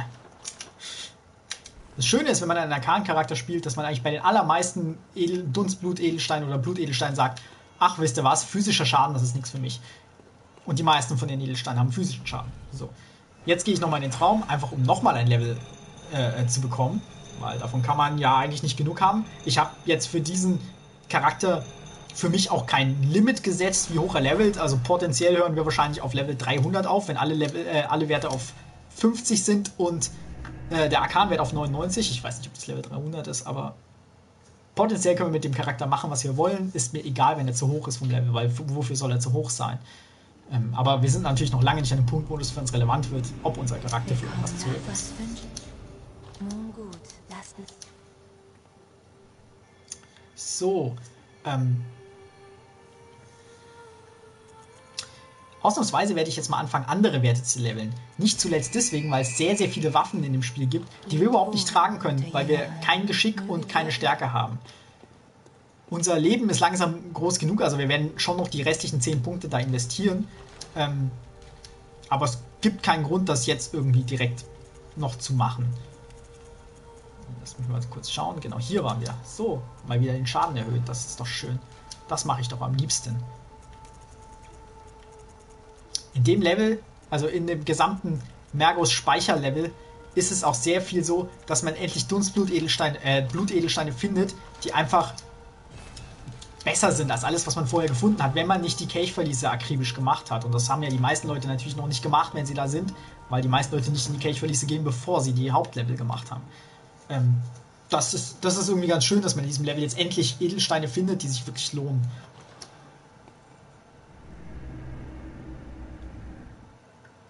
Da kommen auch für uns noch ein paar interessante. Mal sehen, wie weit wir heute noch kommen. Es ist gut möglich, dass wir heute auch schon den Punkt erreichen, bis zu dem ich dieses Level machen wollte.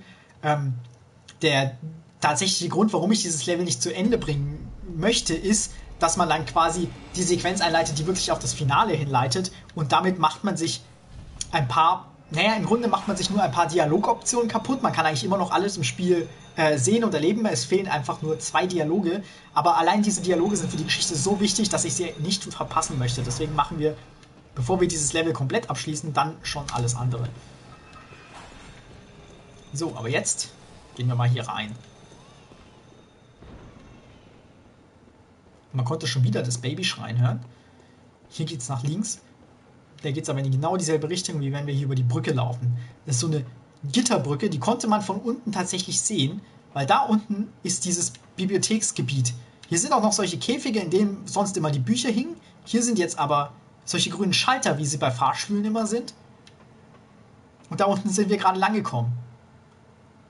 Also man konnte diese Brücke ein ganz klein bisschen sehen, aber nicht so richtig erfassen. Und hier nach oben geht es auch noch viel weiter. So. Und hier sind komische Gegner. So komische Marionetten. Die relativ viel aushalten, noch viel mehr Schaden machen. Und ein kleiner Fun-Fact: Wir werden gegen noch mehr davon kämpfen. Ich werde es aber nicht jedes Mal explizit erwähnen, aber es kann passieren, dass man es mal sehen kann. Diese Marionetten sind der einzige Gegner im Spiel, bei dem es keinen Wiedergewinnungseffekt gibt. Das heißt, wenn ich Schaden bekomme und diese Marionetten schlage, erhalte ich kein Leben zurück. Bei allen anderen Spiel, äh, bei allen anderen Gegnern im Spiel ist das so. Bei denen als einziges nicht. Ich behaupte mal, weil es die einzigen Gegner im Spiel sind, die kein Blut oder eine ähnliche Körperflüssigkeit haben. Alle anderen Gegner haben entweder Blut oder eben dieses komische, ähm, ähm fast glasklar aussehende gräuliche Blut, was ähm, eben so diese ganzen Alienartigen, die Verwandten immer haben. Manche haben braunes Blut, wie diese halben Zombies im, in der Kanalisation. Ähm, selbst diese komischen skelettartigen Zombies aus den Kelchverließen haben Blut, die, die scheinen ja komplett aus Blut zu bestehen. Die haben natürlich viel mehr Blut als alle anderen. Aber die hier scheinbar nicht, weil es Marionetten sind. Naja, dann legen wir mal los.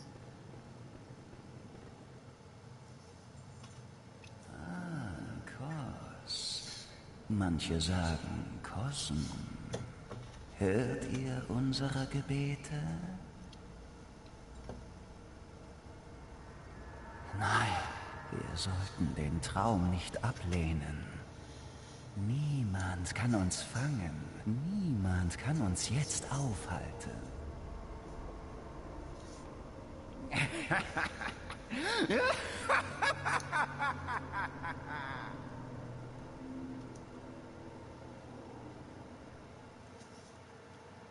Der kommt vielleicht dem einen oder anderen bekannt vor. Mikolasch, Wirt des Albtraums. Wir haben den schon mal gesehen, ähm, nämlich in Yahagul, ganz am Ende, nach dem Wiedergeborenen.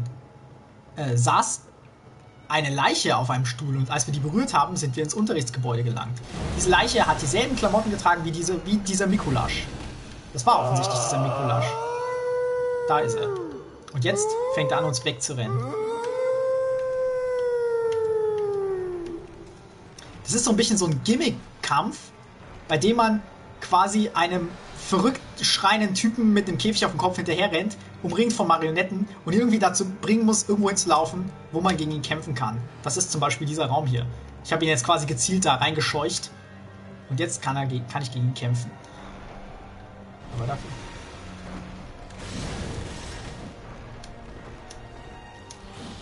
Aber er hat natürlich auch Marionetten dabei. Die Marionetten stehen auch immer wieder auf. Das heißt, ich muss mich quasi dann ein bisschen beeilen.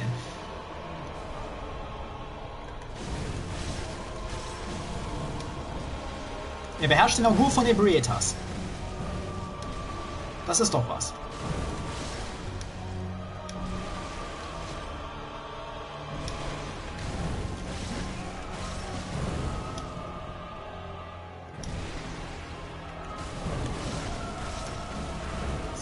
Das war's jetzt erstmal. Löst sich einfach in Luft auf. Aber ich habe nur 50% oh, seines Lebens drin. Ja. Majestätisch. Jeder bleibt jeder, sogar im Aber Herr, nicht so schnell. Der Albtraum wabert und wirbelt unendlich. So, jetzt lebt er quasi noch oder wieder also er hat jetzt die zweite Hälfte, zweite Phase quasi erreicht. So. Was man vorher nicht gesehen hat, was man natürlich sehen kann, wenn man sich in Ruhe umschaut, ist, diese Tür hier war mit einer Nebelwand verschlossen, jetzt ist sie offen. Das ist so ein kleiner Hinweis, hier musst du jetzt lang, weil jetzt ist er weg. Ich finde ihn jetzt da unten in diesen Gängen nicht mehr. Habt es für den geistlosen Rom getan. Jetzt gewährt auch uns Augen. Gebt uns Augen. Das ist wahrscheinlich so eine deutsche Übersetzungssache, aber er sagt, ihr habt es für den geistlosen Rom getan. Ähm, wir wissen ja, dass Rom weiblich ist. Hier im Spiel, also wir wissen es aber leider nur aus einer Spe äh, Quelle außerhalb des Spiels, nämlich von Hidetaka Miyazaki selbst. In der deutschen Version des Spiels ist er quasi im Spiel jetzt einfach Kanon männlich, was richtig komisch ist, dass das jetzt so gemacht wurde. Wahrscheinlich wussten die Übersetzer nicht so genau, ähm, wie sie das übersetzen sollen. Im Englischen sagt er, as he once did for the vacuous Rom. Also nicht geschlechterspezifisch. Ähm, er hat ja gerade schon, man, kann, man hat ja so schön viel einfach Zeit. Ja, ein bisschen. Ich kann kleine Gegner bekämpfen. Ähm, man kann hier quasi jetzt einfach in dieser Zwischenphase einfach rumrennen und so sich ein bisschen umschauen. Und er, er rambelt einfach vor sich hin. Er hat ja auch schon gesagt, Kors, oder manche sagen Korsm. Und jetzt sagt er, wie du einst, wie du es einst für den geistlosen Rom getan hast, gib uns Augen. Interessant. So, hier rennen ein paar von denen rum.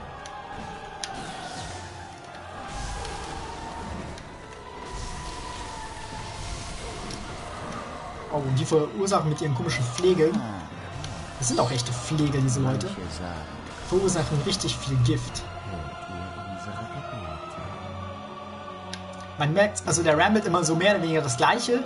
Der hat so ein paar Sprüche, das ist ganz interessant. Man erfährt ein bisschen was. Wir haben den Namen Kors oder Cosm, glaube ich, im Spiel überhaupt noch nie gehört. Alles, was wir kennen, ist der Kosmos. Aber Kors oder Cosm scheint ja ein Eigenname zu sein.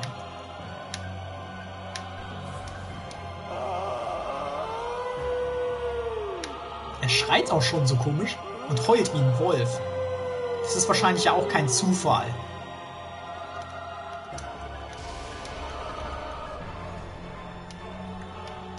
So, hier ist einer von den Großen und dahinter steht einer mit einer Armbrust. Das ist natürlich auch gemein gemacht, wie immer.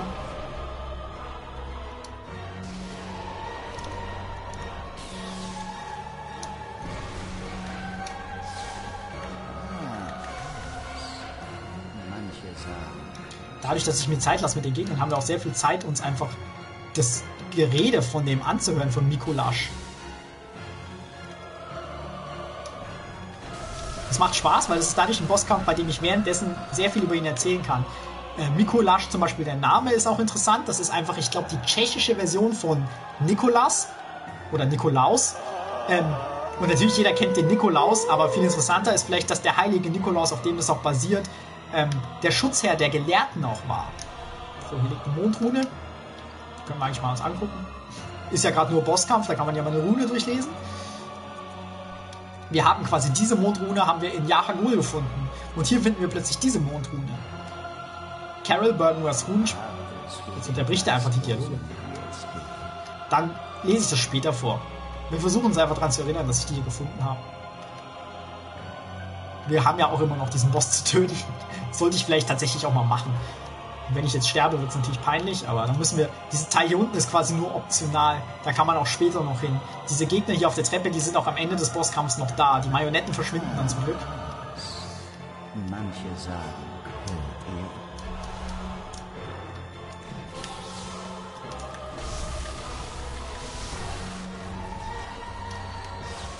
Ah, die lassen auch Dunstblutgegenstände fallen. So.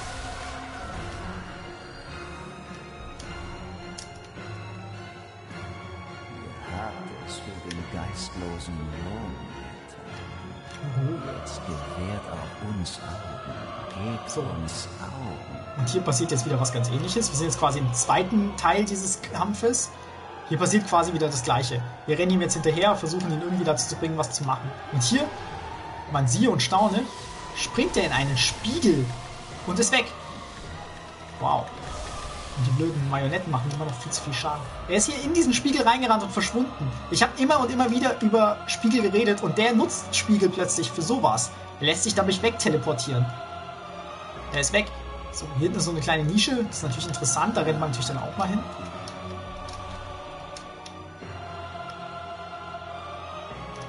Hier kann man runterspringen.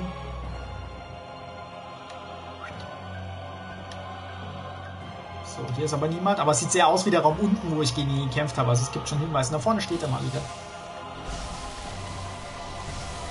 Okay, da kann ich keinen Unterschied.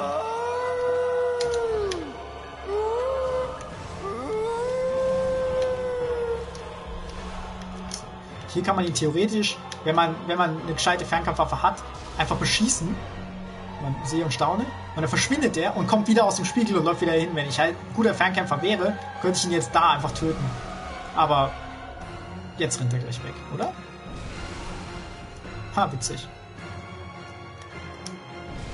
Okay, aber so mache ich das jetzt natürlich nicht weiter. Aber ähm, wenn man ihn schlägt, verschwindet er und teleportiert sich weg. Und ich kann ihn hier quasi so ein bisschen buggen, dass er halt einfach ähm, aus Versehen sich immer wieder an die gleiche Stelle teleportiert. Wenn er mir zu schwer wäre, könnte ich damit natürlich was erreichen. So, jetzt hat er mich hier kurz in diese Ecke gelenkt. Ich weiß nicht, warum er das gemacht hat. Jetzt rennt er hoch. Ähm, das Schwierigste hier ist natürlich, mit diesen ganzen Marionetten umzugehen, aber die kann man ja ganz gut ignorieren. Wo ist er denn? Da kommen wir her. Ah.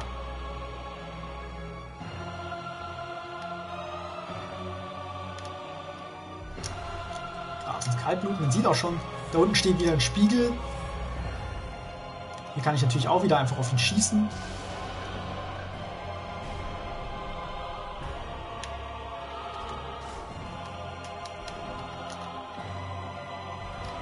Und hier ist jetzt langer. Und hier ist jetzt einfach ein Tor zugegangen. Gemein. Da muss jetzt irgendwie in diesen Raum reinkommen, den er gerade abgeschottet hat. Ich bin ja vorhin schon in den anderen Raum von oben reingesprungen. Das war tatsächlich der. Aber die Orientierung dafür kann man nicht erwarten.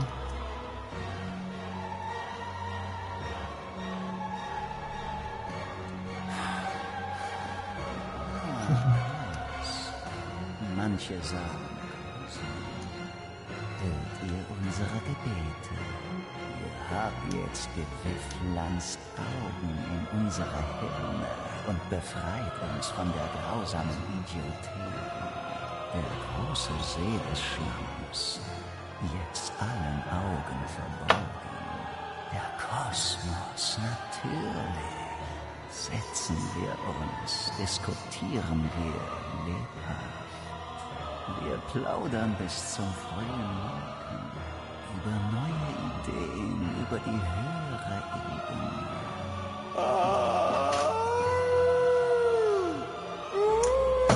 Er ist sehr gesprächig, wie man merkt. Und er sagt sehr viele sehr interessante Sachen über den See aus Schlamm, ähm, der Kosmos. Natürlich hat er gesagt, also er scheint den Zusammenhang Kos, Kosm, Kosmos schon zu kennen oder jetzt gerade erst erfasst zu haben. Wie dem auch sei, ich töte ihn aber. Ich versuch's. Er versucht mich zu töten mit seiner Frau. So, er kann ihn auch nur. Was er jetzt auch kann. Genau. Das hier. Das heißt, man muss quasi immer dafür sorgen, dass man nicht, äh, dass man nicht so weit weggeht, dass er ähm, den, den Ruf in die Unendlichkeit oder wie auch immer er genau heißt im Deutschen ähm, benutzt.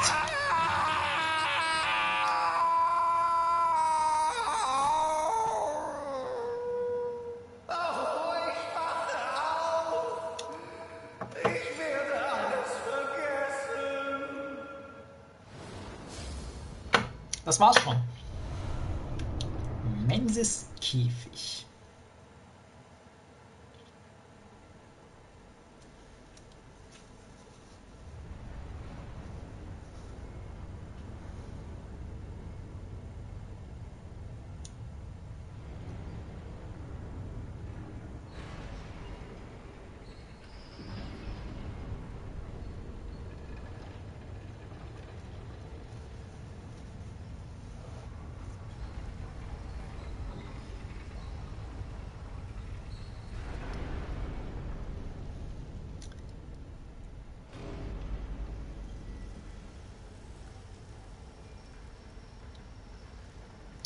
So, jetzt dürfen wir hier auch wieder raus.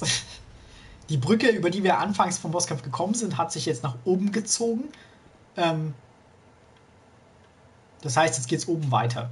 So, wir haben den Menses Käfig gefunden und hier gibt es jetzt natürlich auch noch ein bisschen was zu entdecken, weil irgendwie habe ich einen Gegenstand einfach nicht gefunden. Ich glaube, er hat versucht, mich dahin zu locken, aber ich habe es nicht kapiert.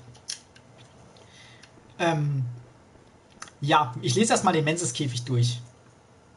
Danach, ich kann ihn auch direkt mal aufsetzen. Ähm, danach die Rune. Hallo? Menses Käfig. Die Menses-Schule kontrolliert das unsichtbare Dorf, das wissen wir ja bereits. Dieser sechseckige Eisenkäfig weist auf ihre Gebräuche hin.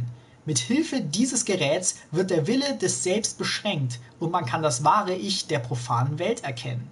Er dient auch als Antenne, die den Kontakt zu den Großartigen aus dem Traum herstellt. Doch ein Beobachter erkennt, dass es genau dieser Käfig ist, der ihnen ihren grausamen Albtraum beschert hat.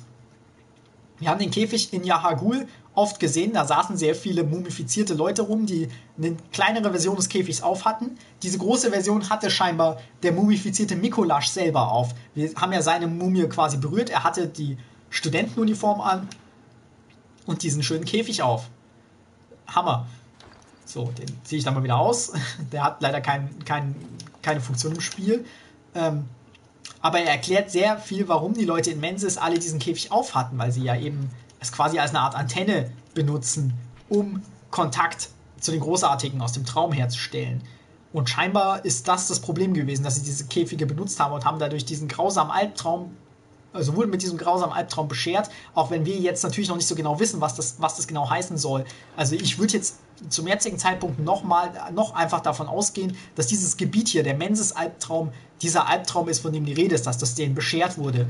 Ähm, aber dass das hier jetzt explizit als der, ähm, der den grausamen Albtraum bezeichnet wird, ähm, das klingt ein bisschen so, als wäre das auch für die Menses-Schule selbst ein grausamer Albtraum, was sie hier jetzt bekommen haben. Und ich weiß nicht so richtig, sie haben jetzt hier scheinbar dieses riesige Lehrgebäude, wo Mikolasch zumindest ähm, so viel über irgendwas reden kann, wie er möchte. Also er scheint ein sehr redebedarfter Typ zu sein. Ähm, und es weist ja bis jetzt auch alles darauf hin, und ich wüsste nicht, was dagegen sprechen soll, ähm, dass Mikolasch tatsächlich der, äh, der, der oberste Chef der Menses-Schule zu sein scheint. Also, ich wüsste jetzt, also es gibt im Spiel, glaube ich, keinen Hinweis, dass es nicht so wäre. Alles deutet eher darauf hin, dass er es ist, weil er hatte diese besondere Position beim Ritual auf diesem Thron, ähm, hat als einziger diesen großen Käfig und so weiter. Wahrscheinlich ist der Rest der Menses-Schule nicht so damit beschert worden, was hier passiert ist. So. Eisentürschlüssel. Vielleicht sind diese, Mum äh, diese, diese Marionetten restliche Leichenteile der anderen Menses-Schüler. Vielleicht sind die Menses, äh, die, die Mergos Diener, diese Typen mit den Eisenmasken, vielleicht sind das alte Menses-Schüler. Aber ähm, ich wollte ja noch die Mondrune, die wir unten gefunden haben, nochmal vorlesen. Also die haben wir, wie gesagt, in Yahagul im unterirdischen Gefängnis damals auch schon gefunden. Und jetzt eben hier. Eine Umschrift von Mond, wie es von den Großartigen im Albtraum ausgesprochen wird. Mehr Blutechos erlangen. Die Großartigen im Albtraum sind im Geiste wohlwollend und kommen oft zu Hilfe, wenn sie gerufen werden. Das ist kein Zufall, dass die Mondrune hier in dem Bosskampf gegen Mikolasch gelegen hat. Ähm, die wollten mit, dieser, mit diesen Käfigantennen bei dem großen Ritual, was sie in Menses abgehalten haben, scheinbar ja Kontakt zu den Großartigen herstellen. Ähm, und die Großartigen sind ja, wie in dieser Rune eben auch beschrieben, ich weiß gar nicht, warum ich sowas immer extra wegklicke, ähm, die Großartigen sind ja im Geiste wohlwollend und kommen oft zu Hilfe, wenn sie gerufen werden. Das heißt, ein riesiges Ritual abzuhalten, um so einen äh, äh, Großartigen zu rufen, wenn die im Geiste wohlwollend sind, macht ja irgendwie Sinn. Da versteht man ein bisschen, warum, warum die Menses-Schule und der Chor und so weiter so viel Kontakt zu Großartigen versuchen herzustellen. Das sind keine irgendwelchen Monster, die versuchen uns zu töten, die versuchen kein Leid über die Welt zu bringen. Hat bisher keiner, den wir getroffen haben, hat aktiv versucht, die Welt zu verschlechtern. Ebrietas hat da ja gut, die hat scheinbar getrauert und scheinbar ist ihr Blut äh, das heilige Blut. Und wenn wir ehrlich sind, ist verständlich, warum die Kirche dieses Blut mag, weil es heilt jede Krankheit. Das ist, das ist ja genial. Dass es schreckliche Nebenwirkungen hat, ist halt jetzt blöd. Das hätte ja keiner ahnen können. Ähm, Amygdala, die wir ja jetzt auch schon getroffen haben, falls die ein großartiger ist oder nicht, die haben ja auch scheinbar nie irgendwas getan, um irgendwas schlechter zu machen. Ich weiß nicht. Also wir sind im, im äh, in der Albtraumfront haben, ja in Amygdalas Haus reingerannt und haben die Sachen zertreten und so. Klar ist er da wütend oder ist er da wütend. Und die falschen Götter, die wir in Yahagul und in äh, Janum getroffen haben, die haben ja auch scheinbar eine sehr rudimentäre Aufgabe einfach erfüllt. Ähm, nämlich Leute von gewissen Häusern fernzuhalten. Ich meine, wir dürfen in dem Spiel nie vergessen, wir verkörpern hier ja nicht den, den Durchschnittsbürger, der äh, äh einfach nur versucht, so de, den Regeln zu folgen. Wir rennen hier rum und schlachten alles ab. Natürlich schlachten wir größtenteils Biester und Monster ab. Wir schlachten sehr viel ab aus Selbstverteidigung. Die Leute, die wir abschlachten, sind auch nicht die Guten. Aber wir können nicht behaupten, dass wir jetzt so sehr das Gute sind, dass jeder, der versucht, uns zu töten, automatisch böse ist. Das ist, glaube ich, nicht der Fall in diesem Spiel. So. Aber jetzt lese ich mal diesen Schlüssel, den wir gefunden haben, nämlich den Eisentürschlüssel. Der Schlüssel zum Eisentor vor der mittleren Brücke. Eisentürschlüssel. Von den drei großen Brücken die die beiden Kathedralgerüste verbinden, öffnet dieser Schlüssel die Eisentür, die zur mittleren Brücke führt. Es gibt keine Diebe in dem Albtraum. Warum dann eine Tür abschließen? Vorsicht, denn es muss einen sehr, sehr guten Grund geben. Das mit keine Diebe wage ich jetzt zu bezweifeln, weil wir haben ja schon Edgar getroffen. Der ist zwar kein Dieb, sondern ein Spion, aber wer weiß. Ähm, aber ja, es ist ein Albtraum, der für scheinbar speziell die Schule von Menses erschaffen wurde. Und hier sollten scheinbar keine Leute sein, die nicht zu Menzies gehören. Edgar war ja scheinbar nur hier, weil, weil er sich als jemand von Menzies ausgegeben hat. Das könnte auch der Grund sein, warum wir ihn als einziges noch, in, noch bei geistig normalen Zustand treffen, außer eben Mikolasch, der ja das ganz hohe Tier ist, weil er vielleicht an dem Ritual nicht wirklich aktiv teilgenommen hat. Ähm, aber ja, es scheint keine Diebe zu geben. Und ich meine, wenn man Sachen abschließt, dann hat das zwei verschiedene Gründe. Entweder weil du nicht willst, dass jemand zu dir reinkommt, oder weil du nicht willst, dass jemand rauskommt. Könnte natürlich sein. Also es kann natürlich sein, dass, da, dass irgendwo hier irgendwas eingesperrt ist. Ähm, es redet jetzt hier von der mittleren Brücke. Die unterste Brücke ist tatsächlich die, auf der wir gegen Edgar gekämpft haben. Als kleine Orientierung, wo das jetzt hier jeweils ist. So, und ich suche jetzt mal die Lampe. Weil jetzt haben wir schon wieder unglaublich viele Echos. Es hört einfach nicht auf heute. Wir können unendlich viel leveln heute. So. Diese Eisenbrücke ist es, die vorhin in der Sequenz äh, nach oben gefahren ist. Da unten sind wir quasi reingekommen, über die Brücke gelaufen, haben das Ganze hier im Bosskampf jetzt quasi durchgemacht. Und jetzt sind wir hier oben. Und hier ist eine Lampe. Und ich gehe dann mal kurz in den Traum, bevor wir zurückgehen und mal gucken, wo diese Eisentür ist, von der gerade die Rede war. Weil durch die würde ich gerne mal gehen und mal gucken, was da so auf uns wartet. So. Ähm, zu Mikolasch selbst, der ist ja scheinbar der Oberboss von Mensis. Ich weiß nicht, wie der höchste Rang bei denen heißt. Meister, Probst, was auch immer. Ähm, und ich finde es sehr auffällig, dass der, obwohl er eben nicht zum Chor gehört, den Augur von Ebritas und den Ruf ins Jenseits benutzt. Ich muss mal eben nachschauen, ich kann mir nur den englischen Namen. Ja, Ruf ins Jenseits. Ähm, was ja Chorwerkzeuge sind. Aber wir haben ja schon darüber geredet, dass der Chor und Mensis scheinbar irgendeinen Konflikt miteinander haben, aber das muss ja nicht immer so gewesen sein. Die sind ja beides die obersten Riegen der Kirche. Die werden sich ja nicht von Anfang an als Konkurrenz etabliert haben die werden ja beide entstanden sein und dann gemerkt haben, dass sie sehr verschiedene Richtungen einschlagen.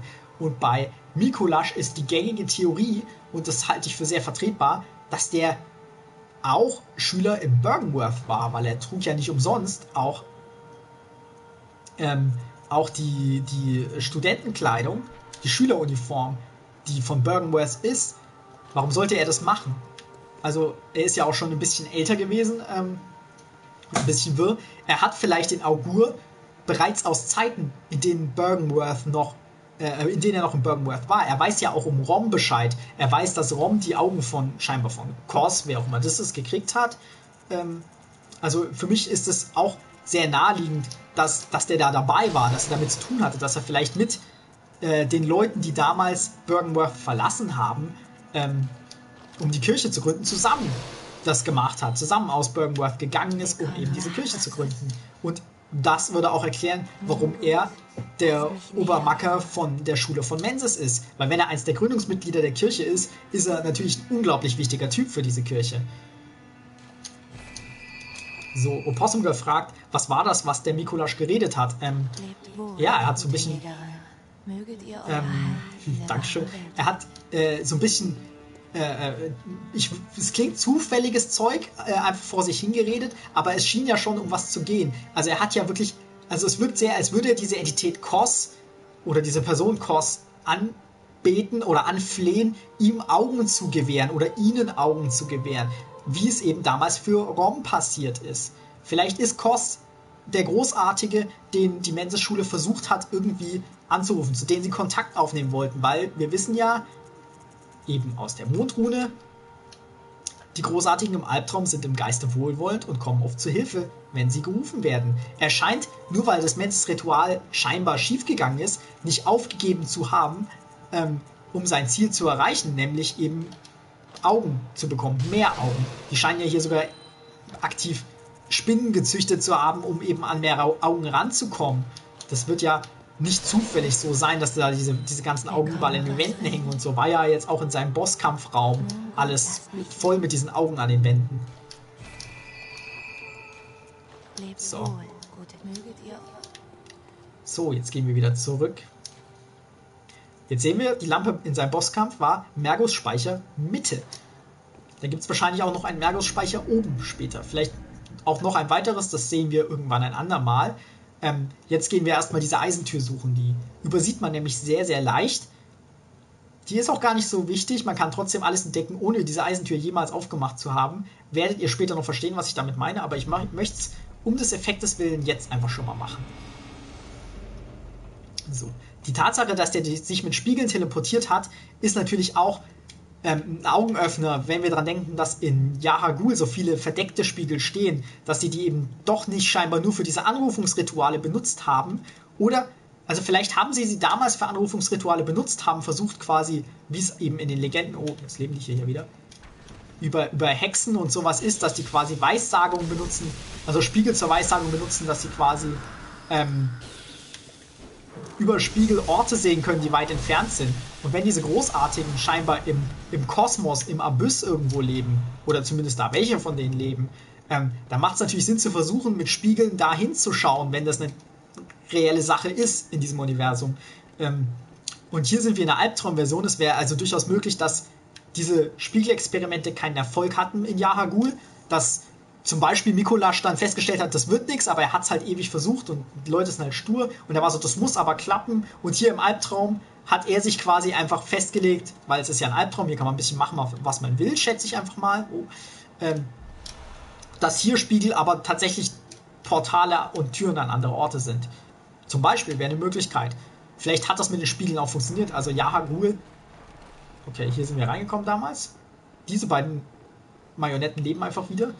Ähm, ja, Hagul hat ja die Kunst der Teleportation beherrscht. Wir sind ja mit diesen Bädern, haben wir uns ja herumteleportieren lassen. Ähm, aber mit den Spiegeln nicht. Die waren alle verdeckt. Vielleicht ist das ein bisschen was, was Mikolasch daraus mitgenommen hat. So, hier war auch eine Nebelwand. Das übersieht man natürlich sehr leicht im Bosskampf selbst, weil überall Nebel ist. Sieht ein bisschen kaputt aus, als wäre hier irgendwie ein Regal mal gewesen oder eine Holztür. Und hier ist diese Eisentür. Damit kommen wir auf die mittlere Brücke. Ist dieser riesige Turm? Irgendwo da unten? Nee, doch nicht. Auf der anderen Seite unten ist quasi das Startgebiet. Oh, Glocken läutet. Eine finstere Glocke. Und hier sind wieder diese Schädel, wie unten unterhalb des Gebäudes überall. Und ihr habt es ja gerade schon gesehen. Da leuchtet es. Das ist quasi was auch immer den Wahnsinn die ganze Zeit auslöst. Ist da drin, in diesem Turm. Ich ignoriere mal kurz die Gegenstände. Und wir versuchen mal, einfach mal einen Blick drauf zu erheischen. Oh Gott, geht es schnell.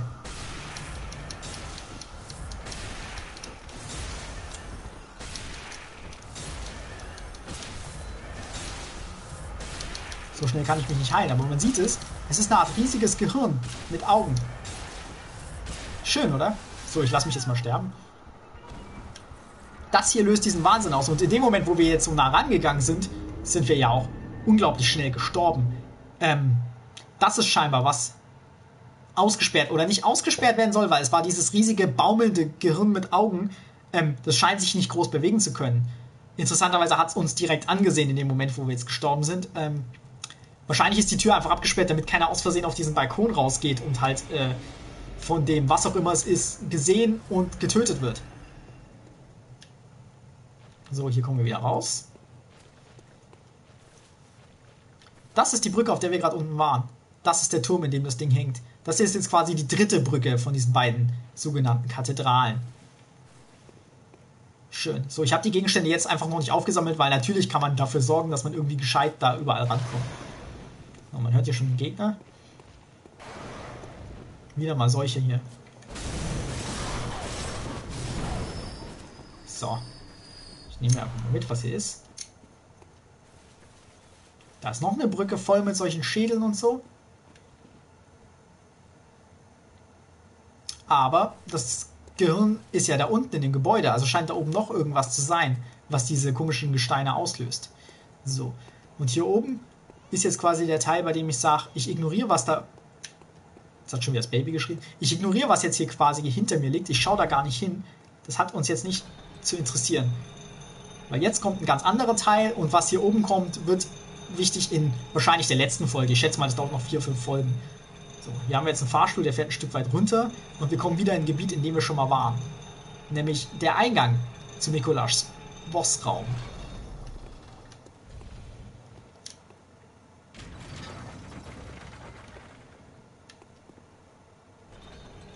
Das ist natürlich auch schön, dass man quasi nicht jedes Mal von Mikolasch Lampe ausgehen muss, sondern hier fünf Minuten lang mit dem Fahrstuhl fahren kann. Das ist natürlich super ineffizient, wenn man einfach nur schnell da hoch will, wo wir gerade waren. Dann geht man natürlich zur mittleren äh, Lampe.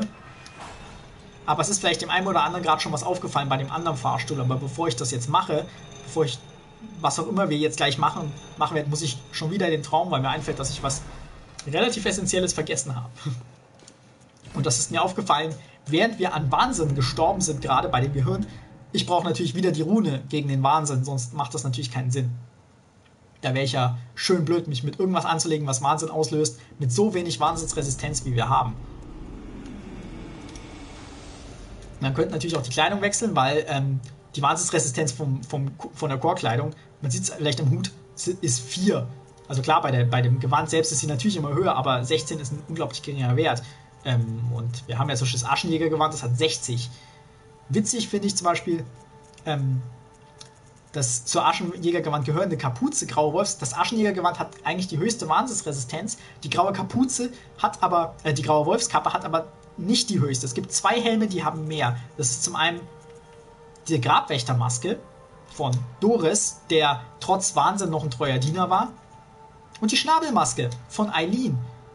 Und das finde ich sehr interessant. Die hat, haben wir letztes Mal ja schon drüber geredet, ähm, äh, den Weihrauch in ihrer Schnabelmaske, ähm, der dafür sorgt, dass sie ähm, die, die, den Wahnsinn nicht so leicht, äh, nicht, nicht den Wahnsinn, dass sie die, diesen Blutrausch nicht so abbekommt, ist zumindest die Theorie. Ähm, wie eben bei Pestdoktoren mit ihren Kräutern, habe ich letztes Mal ja schon drüber geredet, das packe ich jetzt nicht nochmal alles aus, aber ähm, die Theorie ist ja, sie riecht die ganze Zeit diesen Weihrauch und wird dadurch nicht so bluttrunken wie andere Jäger, weil der Weihrauch ja auch gegen Bestien hilft. Und dann macht es natürlich Sinn, weil der Wahnsinn ja, es macht eigentlich nicht wirklich viel Sinn, aber ich, ich habe gerade gedacht, ja klar, macht ja Sinn, hilft auch gegen Wahnsinn, aber Wahnsinn ist ja fast das Gegenteil. Leute, die viel Einsicht haben und sehr weit entfernt sind vom Bestien, also die leiden ja viel mehr unter Wahnsinn. Ja, ganz genau, Burak HDTV äh, sagt gerade, deswegen sind die auch nicht mutiert. Das war, also Eileen ist ja komplett davon entfernt, eine Bestie zu sein. Die ist ja bis zum Ende hin noch bei Verstand, bei klarem Verstand, das ist, obwohl sie scheinbar schon sehr alt ist. So. so. Hier bei dem Fahrstuhl geht die Tür einfach nicht ganz zu. Und unterwegs kommen wir natürlich an einer Stelle vorbei, bei der man einfach rausspringen kann. Das ist, was wir jetzt machen werden. Hier in dieses Fenster rein. Das ist nicht schlecht. Und da ist die obere Brücke und man sieht es vielleicht da hinten laufen. Da ist eine Winterlaterne. Darum sind hier auf der oberen Brücke auch überall diese Schädel. Diese Winterlaternen lösen ja auch einfach Wahnsinn mit ihrem Blick aus. Die sind quasi, dieses Gehirn, das wir da gerade eben gesehen haben, ist scheinbar wie eine riesige Version der Winterlaternen. Ach, das Glockenläuten. So, wir haben ein Organ gefunden. Wo ist das? Irgendwo hier. Zugefügtes Organ. Besonderes Material für ein Ritual des heiligen Kelches. Besondere von der heilenden Kirche gesammelte Körperteile. Was sollte der grausame Köder anlocken? Das kommt mir noch bekannt vor. Das ist derselbe Text wie bei der gelben Wirbelsäule. Durch den zusätzlichen Ritus und so weiter, das ist gar nicht wichtig. Es gibt scheinbar noch mehr Möglichkeiten, irgendwelche Rituale abzuhalten, bei denen man irgendwas anlocken soll. So. Und ich weise kurz darauf hin, diese Dinge hier sind scheinbar durch den Wahnsinn irgendwie entstanden.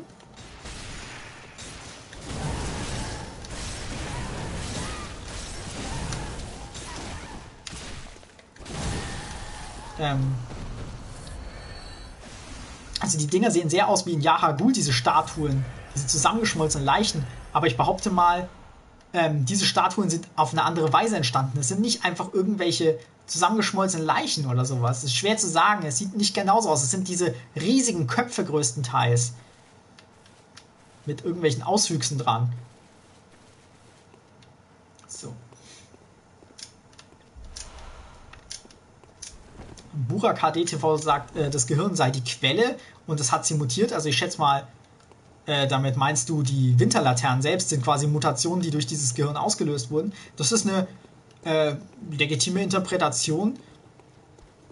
Ich schätze mal, das sind einfach nur sehr artverwandte Gegner.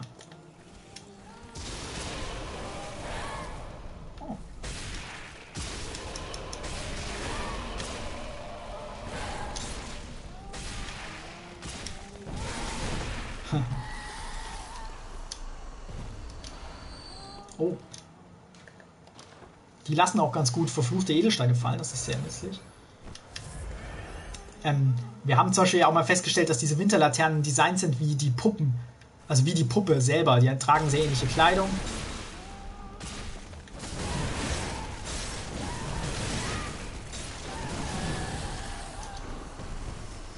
So. Was wäre das? Oh. Ähm, und das Gehirn selbst können wir uns natürlich auch später nochmal in ganzen Ruhe anschauen. Natürlich, ähm, sage ich jetzt einfach so. Also das können wir später noch machen und mit später meine ich bald. Okay. Ah, das, okay. Ähm, du meinst, das waren vorher Priester, diese, diese Winterlaternen. Das ist gar keine schlechte Idee. Also weiß ich jetzt leider aber nichts, was, was wirklich darauf hinweist. Das ist eine gute Theorie, aber da ähm, habe ich jetzt noch nie von gehört, deswegen weiß ich nicht, ob, auf was ich da jetzt irgendwie achten müsste, was das unterstreichen würde. Kann natürlich gut sein. So, interessant, dass hier sind Spinnen mit menschlichen Köpfen. Haben wir ja schon gesehen gerade am Anfang dieser Folge erst, mit Patches. Der ist ja auch eine Spinne mit einem menschlichen Kopf. Das ist wahrscheinlich kein Zufall. Aber die hier sind einfach Feinde. Die versuchen nicht, uns zu belabern. So, ich glaube, die beherrschen auch irgendwelche Zauber. Da würde ich gerne mal sehen, ob sie das auch machen. Die haben auf jeden Fall auffällig eine Kette um. Mit einem Amulett. Das, ähm, und die haben diese Frisur, dadurch sehen sie aus wie Mönche. So eine Kette mit Amulett haben wir das letzte Mal bei Amelia gesehen. Die hatte die die ganze Zeit auch in der Hand, während sie gegen uns gekämpft hat. Na los, mach was Interessantes. Das muss ich auch einfach töten. Ah. Vielleicht habe ich mich geirrt. Ich dachte, die würden irgendwelche Zauber beherrschen. Vielleicht tun sie es nicht, vielleicht machen sie es sehr selten. Bin ich mir jetzt nicht mehr sicher. Ist ja auch nicht wichtig. In dem Raum hier sind auch auffällig sehr viele von diesen Augen mit Spinnnetzen. Also diese, habe ich ja jetzt einfach mal äh, behauptet, sind womöglich Kokons. Das kann natürlich mit diesen Spinnen irgendwie jetzt hier zusammenhängen. Ähm, wir haben jetzt ja auch schon Hunde gesehen mit Rabenköpfen und Raben mit Hundeköpfen. Da sind Menschen mit Spinnenköpfen auch nicht das Absurdeste auf der Welt. Es fehlen nur noch Spinnen mit Menschenköpfen. Äh, andersrum. So, hier ist ein Loch in der Erde, da kann man runterspringen, sieht man ja. Das stimmt. Und Possumgirl sagt, die bewegen sich überhaupt nicht spinnenartig. Das tun sie tatsächlich nicht. Sie bewegen sich wirklich sehr wie Menschen im Spinnenkörper. Die versuchen ihre eigenen Bewegungen aus der menschlichen Zeit quasi noch wiederzugeben. Hier sieht man das Gehirn hängen. Und hier kann man ein Gerät bedienen, ein Hebel. Das ist eine Anspielung aus Demon's Souls an den Turm von Latria, wo man auch solche Hebel sieht und dadurch irgend so ein riesiges Ungetüm, Monster, Vieh, ja, ähnlich wie hier jetzt dasselbe macht. Aber ich habe Demon's Souls leider nicht gespielt, deswegen weiß ich nicht mehr genau, wie das ist.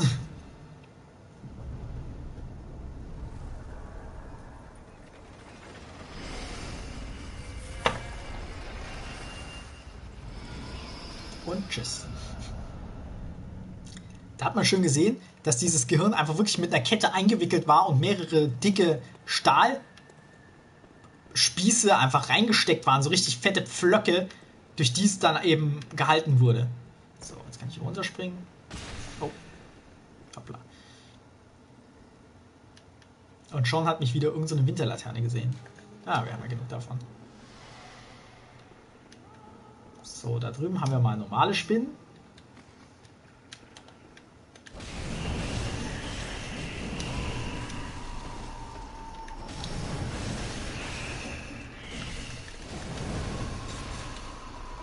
Was soll das denn?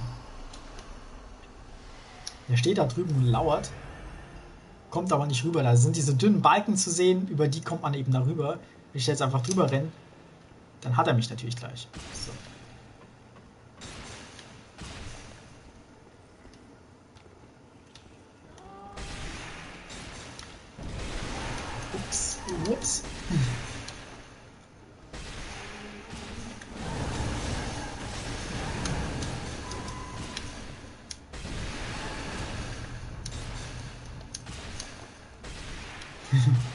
Verschwende einfach sämtliches Beruhigungsmittel, was wir haben.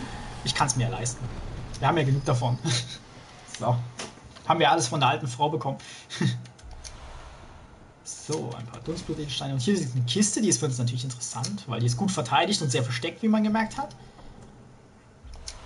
Chorglocke. Ein Jägerwerkzeug, was ich dann direkt auch mal ausrüste. Dann können wir es auch mal ausprobieren. Glocken kennen wir ja schon, haben diese transdimensionale Funktion. Besonderes Jagdwerkzeug des Chors, hochrangigen Mitgliedern der Kirche.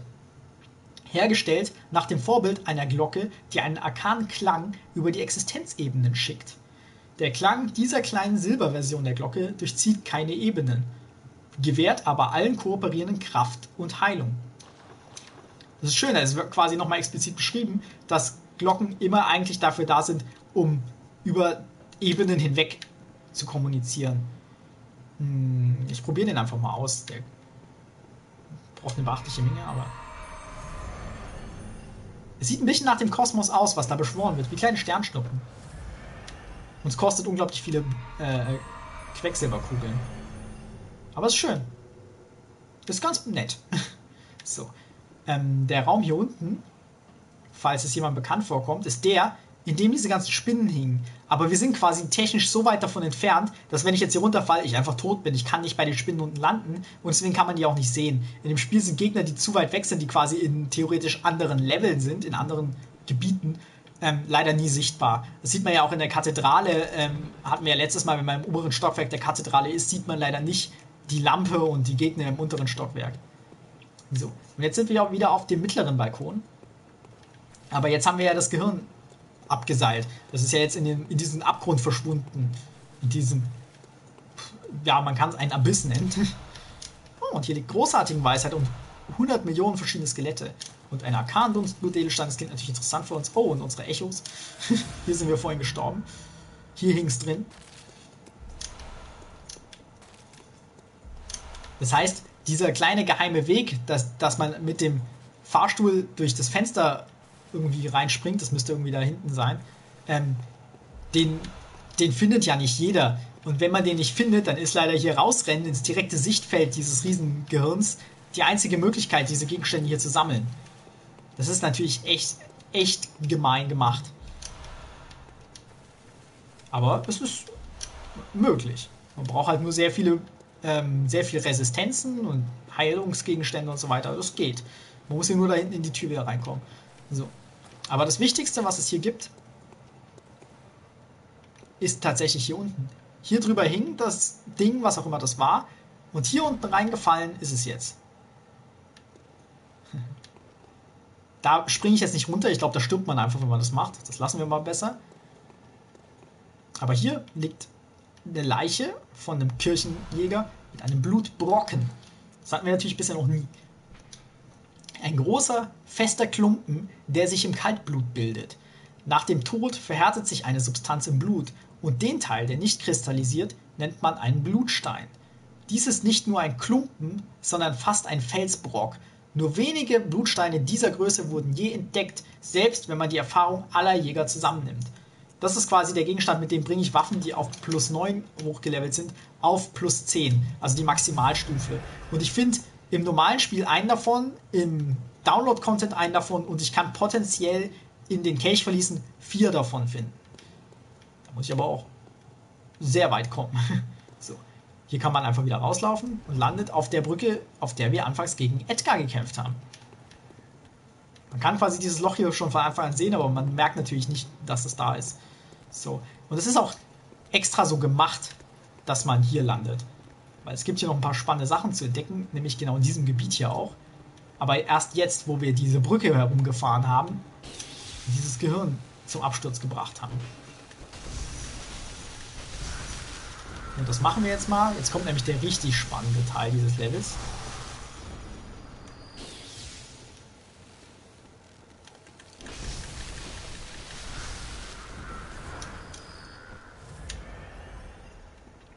So, ich muss mich natürlich trotzdem wie immer um ein paar von den Gegnern kümmern.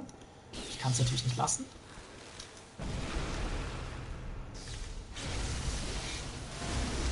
Das war, da habe ich mich mal selbst beeindruckt. so, man sieht es schon. Da ist jetzt ein neuer äh, Fahrstuhl. Die konnten wir quasi als die Metallbrücke, als wir die überquert haben das erste Mal, habe hab ich die ja an der Seite schon extra gezeigt und gesagt, da sind welche mit solchen Knöpfen drin. Und jetzt ist der plötzlich hier unten. Da frage ich mich doch, wo der hinführt. Nach oben oder unten? Natürlich nach unten. In die absolute Schwärze.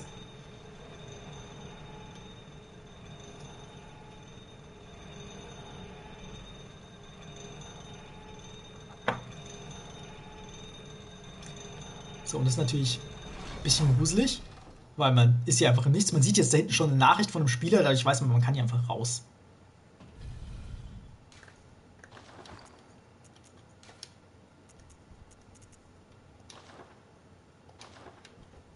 So, was ich jetzt mal mache für den Effekt.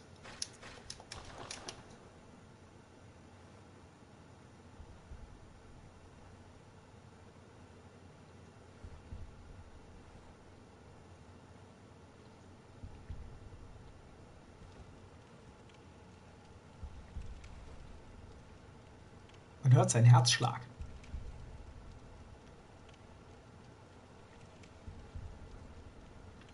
Das ist das Gehirn. Und jetzt kann man sich es ganz in Ruhe anschauen. Und das ist brennend interessant. Es hat riesige Augen. Was wir brauchen, sind mehr Augen. Augen im Inneren hat ja auch Mikolasch, glaube ich, sogar erwähnt. Aber es ist nicht eine normale Gehirnstruktur, abgesehen von den Augen. Was wir hier haben, sind die Leichen von äh, von Booten, von den Badbooten, genau wie bei den Winterlaternen. Was wir auch haben, sind diese riesigen roten Sehnen, die ein bisschen wie Adern oder sowas aussehen oder Nervenbahnen. Hier sieht es aus, als wäre es eine Hand geworden. Und zwar eine Hand mit sechs Fingern. Das ist ja auch dieses wiederkehrende Ding, dass die ganzen Verwandten und so weiter eben, also die ganzen äh, äh himmlischen Botschafter zum Beispiel, die haben alle sechs Finger, Amygdala ja auch. Hier hinten ist so ein Auswuchs, der sieht aus wie der Nervenstrang, der bei einem Gehirn in die Wirbelsäule führen würde. Und irgendwelche Knospen. Ähm, hier ist die zweite Hand, die auch nur an solchen Sehnen hängt. Und da oben sind auch noch Haare dran. Und das mit den Haaren finde ich eigentlich fast den interessantesten Teil, weil mich erinnert das ganze Ding größtenteils nicht an ein Gehirn, sondern an einen Tumor. Denn Tumore können auch Haare entwickeln und vor allen Dingen auch Zähne, das haben wir hier jetzt leider nicht. Ähm, aber das sind ja diese einfach nur Gespüre aus verschiedenen Zellen, aus Stammzellen, die nicht wussten, was sie werden sollen und irgendwas anderes geworden sind, als sie hätten werden sollen. Das ist ja das Problem bei Tumoren. Ähm und das finde ich eigentlich schon echt sehr beeindruckend. Die Augen folgen mir, wie man sieht, zumindest die großen beiden Augen. Also es scheint zwei Hauptaugen zu haben. Und wir haben es ja letztes Mal gelernt. Und deswegen mache ich es eben jetzt auch. Ich habe letztes Mal mehr als genug darüber gerantet, über die Kontaktieren-Geste, was die bedeutet, wofür, wofür der Chor die entwickelt hat, dass man eben diesen Kontakt zu außerirdischen Lebensformen aufnimmt. Und das hier ist eins von den nicht bestgehütetsten, aber eins der besten Geheimnisse in diesem Spiel, dass man zu diesem Wesen tatsächlich damit Kontakt aufnehmen kann. Ich rede jetzt einfach dreist weiter darüber, weil äh, das dauert eine Minute, bis diese Sache sich erledigt hat. Und wir können natürlich auch einfach bedächtig dem Herzschlag lauschen. was auch eine schöne, eine schöne Szene ist. Ähm, aber das ist so ein Moment, das erklärt, warum diese, diese Kontaktieren-Geste so groß präsentiert war im, äh, im Waisenhaus. Weil jede andere Geste kriegt man einfach von irgendwelchen Leuten. Und die war ja explizit mit einem einzelnen dafür vorgesehenen Raum. Wenn die keinen, keine Funktion im Spiel gehabt hätte, dann wäre das ein bisschen enttäuschend. Aber hier hat sie eine. Und ich glaube, viele Spieler haben das wirklich von sich aus gefunden. Ich gehöre da nicht dazu. Ähm, weil sie einfach versucht haben, diese Kontaktieren-Geste an allem zu nutzen, ähm, was, was, was sie irgendwo gefunden haben. Und hier funktioniert es. So. Und was wir finden, nicht umsonst, ist schon wieder die Mondrune. Die dritte jetzt. Die beste Version davon. Und auch hier, nicht umsonst liegt sie hier, mit extra dem Satz, die Großartigen im Albtraum sind im Geiste wohlwollend und kommen oft zu Hilfe, wenn sie gerufen werden. Das Ding hier vor uns ist wahrscheinlich ein großartiger. So großartig sieht es gar nicht aus, eher wie ein Tumor. Ähm, man wird wahnsinnig, wenn man sich anschaut, wenn es nicht gerade hier in der Dunkelheit liegt. Vielleicht ist es einfach durch den Sturz beschädigt und kann nicht mehr so ganz. Vielleicht hat, also es hat ja scheinbar wirklich gezielt diesen Wahnsinn ausgelöst, indem es die Leute angeschaut hat. Ähm, ich glaube, wir geben dem Ding den Gnadenstoß. Ach, was mache ich denn? Wir haben jetzt nicht mehr so viel Kugeln, aber es wird schon reichen. Reichen nicht, aber es wird schon was auslösen. Man sieht, wie viel Leben das ganze Ding hat. Das heißt, wir werden hier eine Weile beschäftigt sein damit.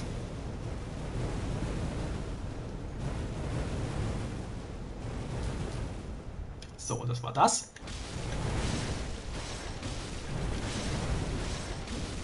Da kann man schön alle Waffen, die man hat, mal ausprobieren.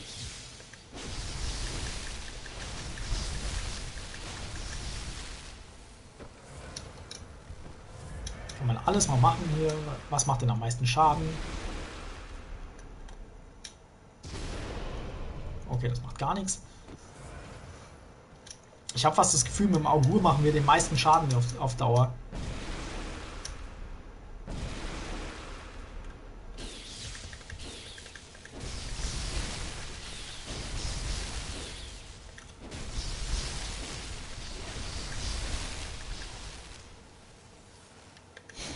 Man sieht, es hat viel Leben, es hat quasi so viel Leben, als wäre es ein Bosskampf. Wenn wir jetzt aktiv irgendwelchen Attacken ausweichen würden, dann wäre jeder Schaden, den wir daran machen, ein Segen. Aber so ist es irgendwie, ja, und weiter und weiter.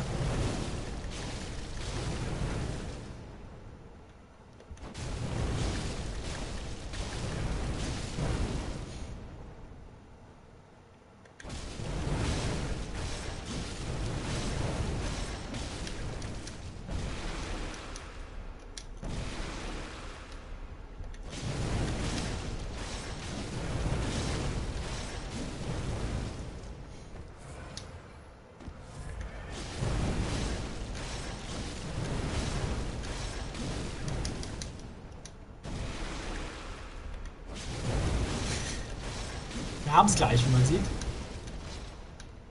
So, ich gehe jetzt mal wieder zu seinem, ich nenne es mal sein Gesicht, wie die Augen sind.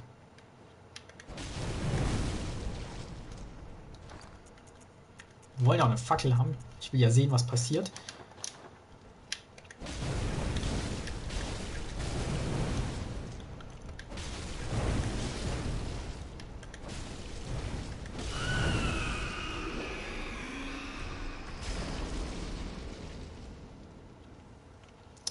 Es schreit sogar noch. Ich weiß nicht womit. Und es regnet Blut, wie immer, wenn man sehr große Gegner tötet. Und wir haben lebendiger Strang bekommen. Strang. Im Englischen Living String. Ein besonderes Material für ein Ritual des heiligen Kelches. Das riesige Gehirn, das riesige Hirn, das Menses aus dem Albtraum holte, war innen tatsächlich mit Augen gesäumt, aber sie waren böse und das Hirn selbst war schrecklich vermodert. Dennoch war dies ein rechtmäßiger Großartiger und hinterließ ein Relikt, ein lebendes Relikt, das besonders wertvoll ist. Da haben wir es. Es ist tatsächlich ein rechtmäßiger Großartiger. Ähm, dieses äh, riesige Hirn, das Menses aus dem Albtraum holte, erinnert mich halt jetzt sehr an diese ganze Sache, dass Menses scheinbar versucht hat, irgendwas anzulocken. Das haben wir ja bei, dem, bei der gelben Wirbelsäule vom äh, Wiedergeborenen gelernt. Also kann es sein, dass die versucht haben, irgendwas anzulocken und dann haben sie aber nur dieses Vieh bekommen, was zwar ein großartiger ist, aber ganz offensichtlich äh, nicht wirklich hilfreich. Also wenn ich mir jetzt von den Großartigen, wie jetzt zum Beispiel, wie Mikolasch es gesagt hat, von wem auch immer, von Kors, wer auch immer das ist, äh, wünsche, Augen auf die, äh, an, an Inneren meines Gehirnes zu bekommen und so weiter, so wie Rom es damals bekommen hat. Und dann taucht plötzlich dieses, dieser Großartige auf, der selbst nur ein Gehirn voller Augen ist, der auch noch schrecklich vermodert ist, was noch was, was, was nachvollziehbar ist, wenn, wenn man sich überlegt, dass es wie ein Tumor aussieht. Ähm, das scheint ja nicht zu sein, was sich die Leute vom Menses gewünscht haben. Ähm, also scheint das unter anderem zu sein, was schiefgegangen ist bei diesem Ritual. Sie wollten einen Großartigen rufen, haben einen Großartigen bekommen. Es war aber nicht der, den sie gerufen haben, sondern einer, der sie getötet hat oder durch den sie wahnsinnig geworden sind. Und in diesem Moment sind sie auch noch durch den Fehlschlag in dem Ritual in einen eigenen Albtraum gesaugt worden, den sie selbst quasi dadurch erschaffen haben. Das ist äh, erschreckend, aber glaube ich auch verdient. So, ich benutze jetzt einfach das Zeichen hier. Denn wir nähern uns gerade schon wieder der Zwei-Stunden-Marke und wie jede Woche ist nach zwei Stunden leider schon wieder Schluss. Ähm, wir werden noch in den Traum gehen und ein bisschen leveln und so weiter und so fort. Vielleicht nur Blutedelsteine mal einsetzen. Vielleicht eine neue Waffe hochziehen. Ich überlege gerade, ob wir jetzt endlich mal den gewundenen Stock für irgendwas benutzen könnten. Der liegt ja seit ungefähr gefühlten. Ja, nicht nur seit gefühlten, sondern der liegt tatsächlich seit 13 Teilen äh, in unserem Inventar und bleibt unbenutzt und wird immer mal wieder gelevelt, aber es, er kriegt einfach keine Liebe. Ich glaube, das mache ich doch jetzt gerade mal der ist ja auch nicht verkehrt.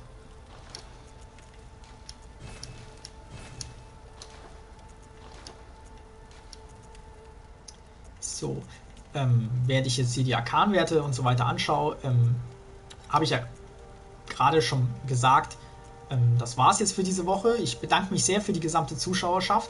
Es war echt nett. Ähm, wie immer lade ich alles auch bei, bei YouTube hoch und so weiter. Ihr findet das einfach unter meinem Namen oder unter dem Stream auch verlinkt auf schreckliche Weise. Ähm, und ansonsten wünsche ich euch eine schöne Woche. Bis nächstes Mal. Ich bin Iresa und einen schönen Tag noch.